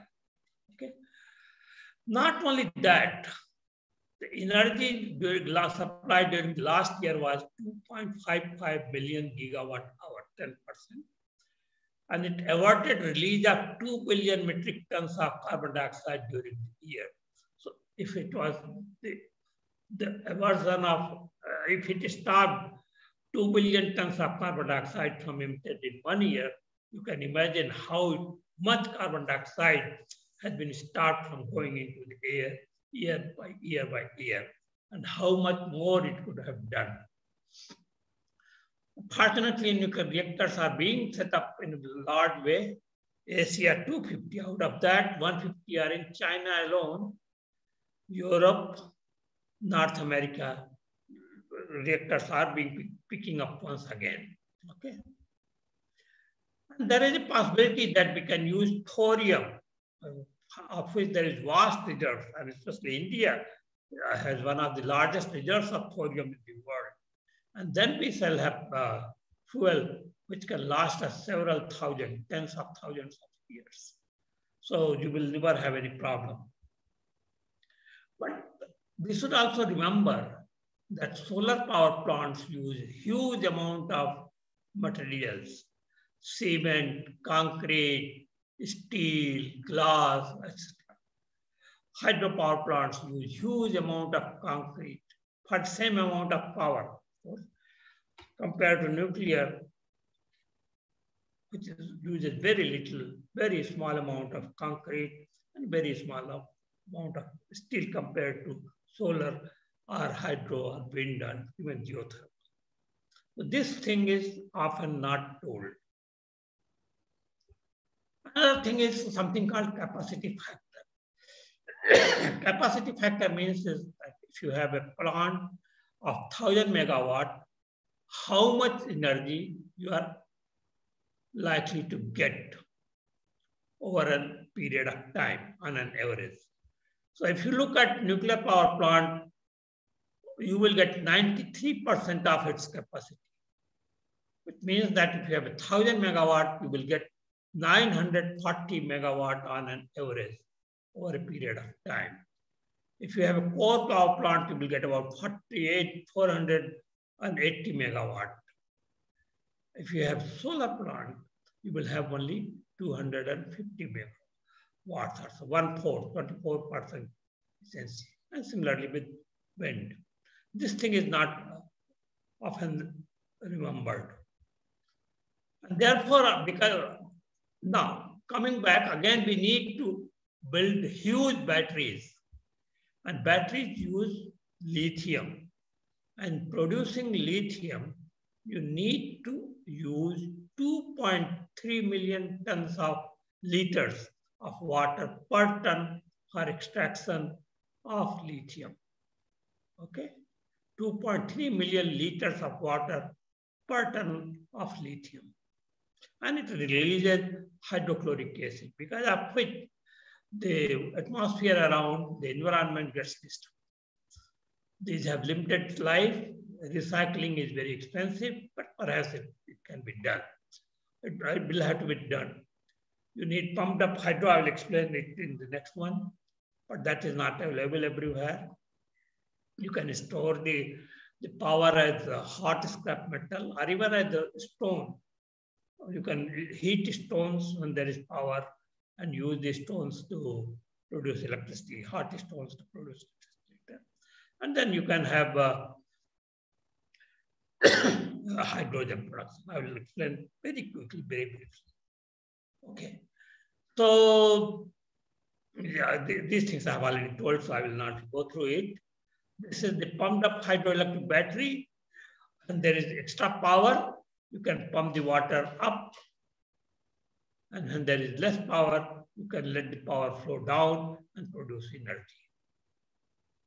And this is going to be set up at various places in India, wherever it is possible. let us come to hydrogen, which is being discussed in a brief way. because if you burn up hydrogen, you get only water. So it is very green. And there are several kinds of uh, hydrogen. One is called black hydrogen, which is produced from uh, gasification of coal and produces 16 and a half kilograms of carbon dioxide for one kilogram of hydrogen. And therefore, it is called black hydrogen. Is gray hydrogen, which can use methane gas to uh, produce hydrogen and it produces about 5.5 kilograms of carbon dioxide per one kilogram of hydrogen. So you may have, get one kilogram of green hydrogen, I mean hydrogen which is essentially green, but in the process of producing one kilogram of hydrogen, we are producing five and a half ton kilograms of carbon dioxide. You can also have what is called blue hydrogen uh, that you produce hydrogen from uh, mm, uh, hydrogen by using all kinds of this carbon, but carbon dioxide you deposit somewhere where it, it, it stays permanently. But this method is not a foolproof and people have opposed it. There's a very interesting Hazer process. Details are not known because it is still a uh, industrial process, patented details are not known, but they claim that they can convert, take methane and convert it into carbon and hydrogen, and that carbon can be used. Yeah, like here. It's also called molten metal pyrolysis, and this become very, very promising. Green hydrogen is the hydrogen where you use electrolysis to produce what, uh, hydrogen but the power is obtained either from wind energy or from solar PV or from nuclear power. Nuclear power you have seen is very, uh, very green. There's another hydrogen called pink hydrogen. And uh, there is a new design of reactors operate at about uh, 1200 degrees centigrade or 1500 degrees centigrade. And if you get those kind of nuclear reactors, you can very easily produce using the heat, uh, produce hydrogen in a very, very clean, very green manner, and this is called pink. Okay, so COP26, uh, which took place in nine, uh, November, it came to this conclusion that right now we have a 1.1 degree of warming. The, crossing the two degree threshold will put about 1 billion people under extreme heat stress bleach over 99% of coral reefs, double the extinction of plant species and intensify the melting of sea ice in summer by 10 times. It will, uh, it will be fueling up to six meters of sea level rise in vulnerable part of world. If the sea level rises by six meters, you can imagine what will happen to coastal regions of Tamil Nadu, Kerala, Chennai, Bombay, Gujarat, etc. Uh, Goa, carbon dioxide emissions must be reduced by 45% to reach the net zero around mid-century. Phase down of coal power and phase out of inefficient fossil fuel subsidies. 137 countries have agreed to halt and reverse forest loss and land degradation by 2030 let us think of something else. The sun is always shining somewhere or other. And we have day here, it is night in US. The wind is also blowing strongly somewhere or other. There is enough water in hydroelectric dams somewhere or other.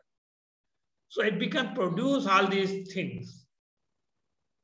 And the, the power plants are connected through a grid, international grid you can have a very beautiful situation where you place nuclear power plants at best locations away from human habitation under some uh, international safeguard. And then you have an international grid with about 30% base load from nuclear power and the rest connected through international, rest of the power coming from sun, solar energy and wind energy. But because they are now connected all over the world, the intermittency is gone and there is no need for battery. Yeah, but need for battery is reduced considerably. It can take care of intermittency and it can eliminate global warming for good. And it can also provide enough power for third world countries to rapidly lift themselves out of poverty and dissuade them from deforestation and use of polluting fuel. This will ask, uh, we should set up international grid and provide sustainable, green, clean, and reliable power to all. And that is what was called, called One Sun, One World, One Grid initiative by India, which is now known as the International Solar Alliance of 140 countries, including UK, Germany, and USA. And this international grid is a very old concept. Buckminster Fuller had suggested it way back in 1981 that we can have international grid and uh, use the power uh, very effectively. So looking ahead, climate change cannot be tackled by one country alone. All the countries have to work together. Supposing India alone does all these things, it is not enough because uh, other countries are also producing huge amount of carbon dioxide. Okay, so we are looking forward to have international collaboration in more efficient fuel cells and storage and turbines, very efficient worldwide web of electricity, a fast breeder technology for nuclear energy, and if the fusion technology comes up, which is we uh, tried out at uh, ITER, it will be a fantastic thing that there could be international autonomous body for research and regulation of nuclear safety. Right now, Earth is somewhere at this point if we don't do anything, it will fall into this ditch, which is very hot house earth, from which it may take thousands of years to come out. And in any case, if we fall in that, uh, most of the world population will suffer and die. But if you take corrective actions, we can stabilize the temperature and we can still save the earth.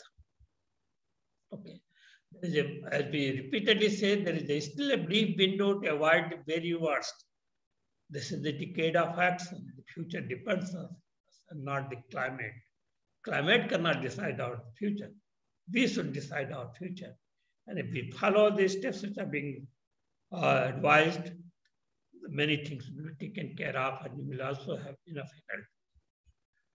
And several of these things have been discussed in these two books which we have written, Climate Change and Energy Options for Sustainable Future. And another one which will come out very soon, Art and Science of Managing Public Risks. And it may be useful if you get them for your library because these are written in a very, very simple manner for young students. Thank you.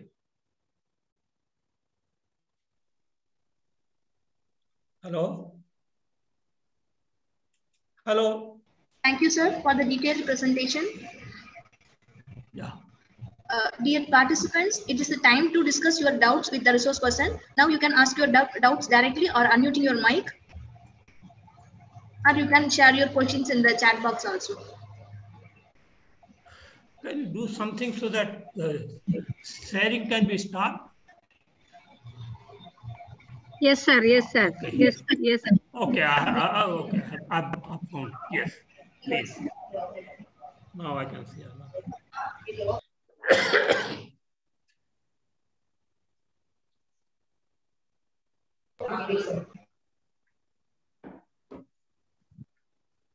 There are some chat. Are there questions in the, Hello, sir. yeah. Uh, hello, sir. My question actually, uh, scientists um, already addressed the utilization of renewable energy and availability of energy resources decades back. What constraint uh, that uh, is not realized yet? Uh, Ah, wonderful question. You see, for using real, uh, Uh, this energy, renewable energy, you have to make solar panels, you have to install them, you have to uh, the, ener- uh, the electricity which it produces at a very low voltage, you have to convert it into high voltage. Then you have to convert it to alternating current, etc. etc. Whereas coal is very cheap, very dense energy. Because coal is available and it is very cheap, people have been ruthlessly, relentlessly using coal. also, because not many people were going for renewable energy, there was not much research. So there was not enough efforts to make them cheaper, make them more efficient. That has started only now, and it has shown results only now. So the reason was that coal was available, petroleum was, was available, the, the gas has been available, and which are very cheap and very concentrated form of energy. Nothing else, it is our laziness and our greed.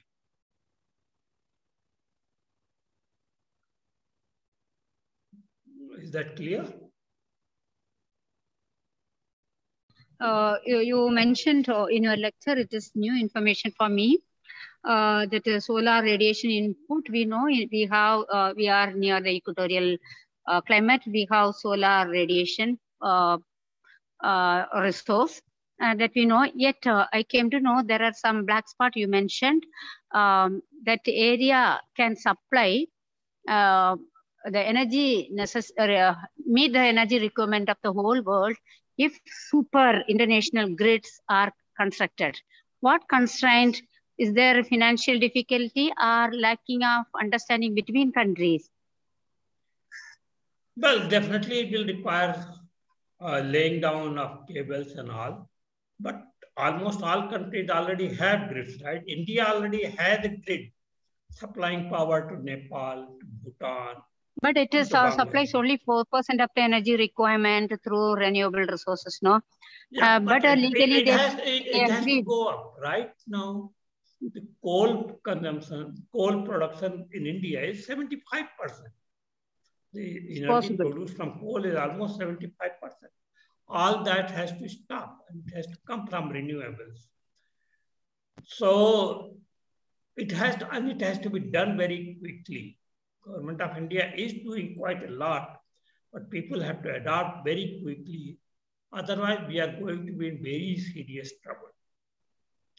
There is a huge number of climate refugees.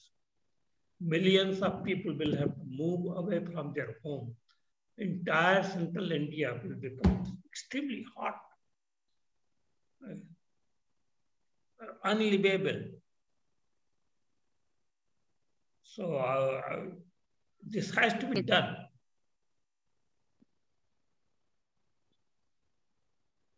Yes. Okay, thank you, sir. Thank you.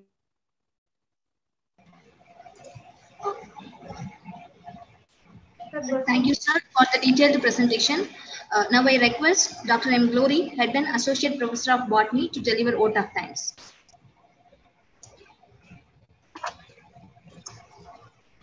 I'm extremely happy uh, for presenting an elaborate lecture on sustainable source of energy, uh, uh, the scope and uh, um, the explanation on scope of uh, renewable energy resource available in the country is uh, uh, uh, somewhat soothing to our mind. Even if uh, loss of uh, fossil fuel happens, we can sustain our life because of availability of large resources. Sir, the delivery of point by you is so very informative. Your emphatic presentation must must have made more impact and take home value for the participants. Thank you so much for your uh, um, elaborate presentation, sir. Um, thank you so much, sir. On behalf of the management and botany department, wholeheartedly extend my thanks once again. Thank you so much, sir. You.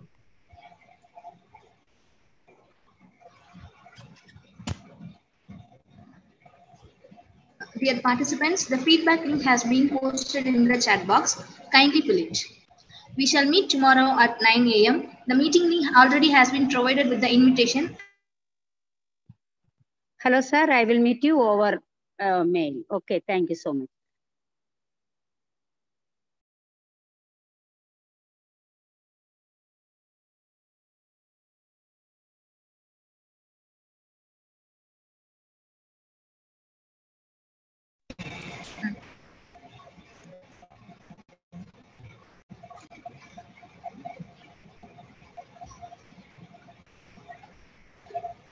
Uh, once again, we thank you all. We will meet tomorrow at 9 a.m. sharply. Thank you.